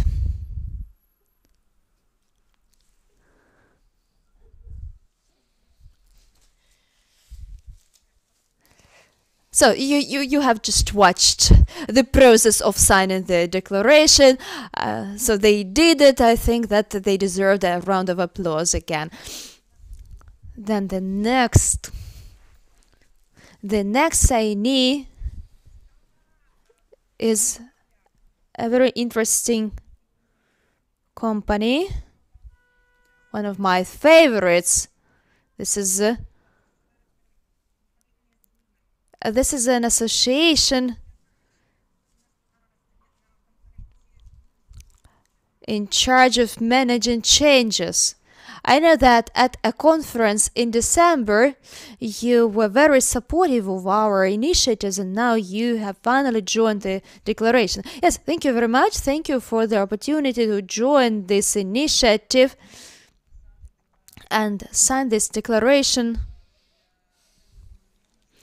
on uh, gender equality and combating domestic violence. The uh, Association of uh, Change Managers in Ukraine is uh, part of uh, ACMP Global based in the US. Their duty is to prevent domestic violence, uh, then the preventing domestic violence is a standard for the private life and for business in America.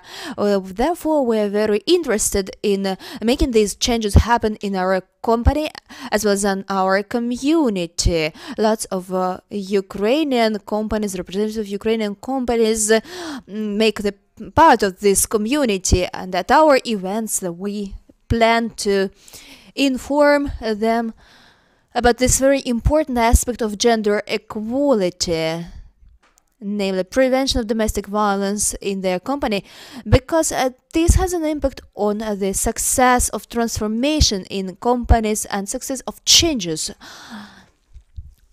taking place in their companies. We will do our best to support them. We have signed the declaration, so you see this is our copy with my signature. Thank you very much once again for this opportunity. Thank you, thank you, thank you. Really need to get some advices from the change management specialists on how to integrate. Uh, how to integrate these processes, these approaches for gender equality and domestic violence prevention. Your expertise will be really, really, really important. And uh, thank you again. One more signatory. today uh, this company has already presented their model, their approach, and we definitely know that they paved the way. They are in this movement. They completely stick to the declaration principles Ferrexpo. Anna, welcome again. So please do sign. Well, I'm glad to say again, we've already signed the document. The head of the board, please take a close look at that. So we can scan it, we're ready to do it and send it. It's quite an honor for us to be uh, the first company from the uh, from this industry actually actually to be involved in that process. Thank you for doing that. We're so grateful from on behalf of the UNFPA. This is their initiative actually. The initiative of Pavlo Zamostian, Natalia Kashowska. They in, were inspired with this in in uh, the Germany. So Turkey actually joined us, and right now we have 20 signatories already.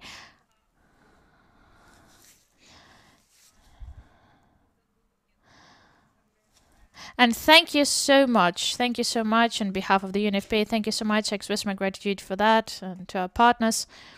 Svetlana Pavlysh as the head of the series. Svetlana Pavlysh, special gratitude to you again, because we now have more of those involved, and we've only have the beginning. So, dear participants, dear ladies and gentlemen, dear viewers, I don't know if you liked actually this online uh, mode, but I do hope that maybe I do hope that you got something you wanted to get. Please, please, uh, under under the stream, uh, write on our Facebook page. Maybe something else to be improved, some extra recommendations, maybe some questions we did not stick to. What UNFPA maybe should do, what further steps should be taken. So this would be the feedback, you know, for us but I'd like to draw the line, to find a line, just to draw the conclusion and we talked today.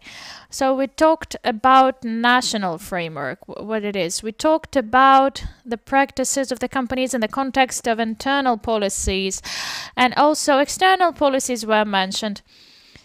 Of course, the uh, non-discriminatory communication and advertising, and also we saw the signatories.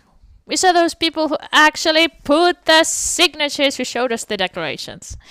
And those will be sent to the fund. So, if we still have some companies who'd like to join us, we have Anastasia Krashevska, representative uh, of the UNFPA in Ukraine. So please do refer to Anastasia, and we will be so glad to welcome you in our family of signatories, our big family. Secondly, if you're only thinking about what to start with, uh, I think uh, very nice recommendations were given. For example, start with simple mathematics. Compare the number of men and women and ask yourself why something's wrong. Or maybe everything is okay. Then you need to stay with us even more. Then, if you calculate, if you see that something can be done, please, something else can be done. Please take the 4B model, four-step model.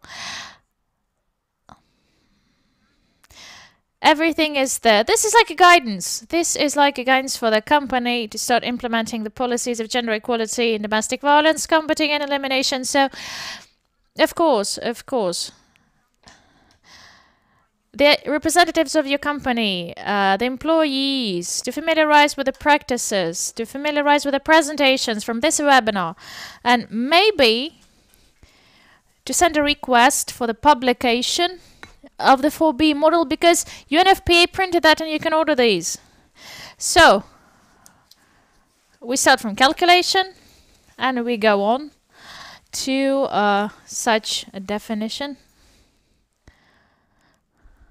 and we go further. So maybe you actually can do it as another step. So I'm so grateful to you. Maybe it's important so please take care of your employees. Don't forget. Because we do have another reason. Maybe certain depression, a certain stress due to the situation that we face right now, please. Their mental health. And please, Stay healthy, stay at home. And I want us to see face to face and to see all the signatories in person, all those who fight for gender equality. Again, huge gratitude to you and UNFPA for doing that.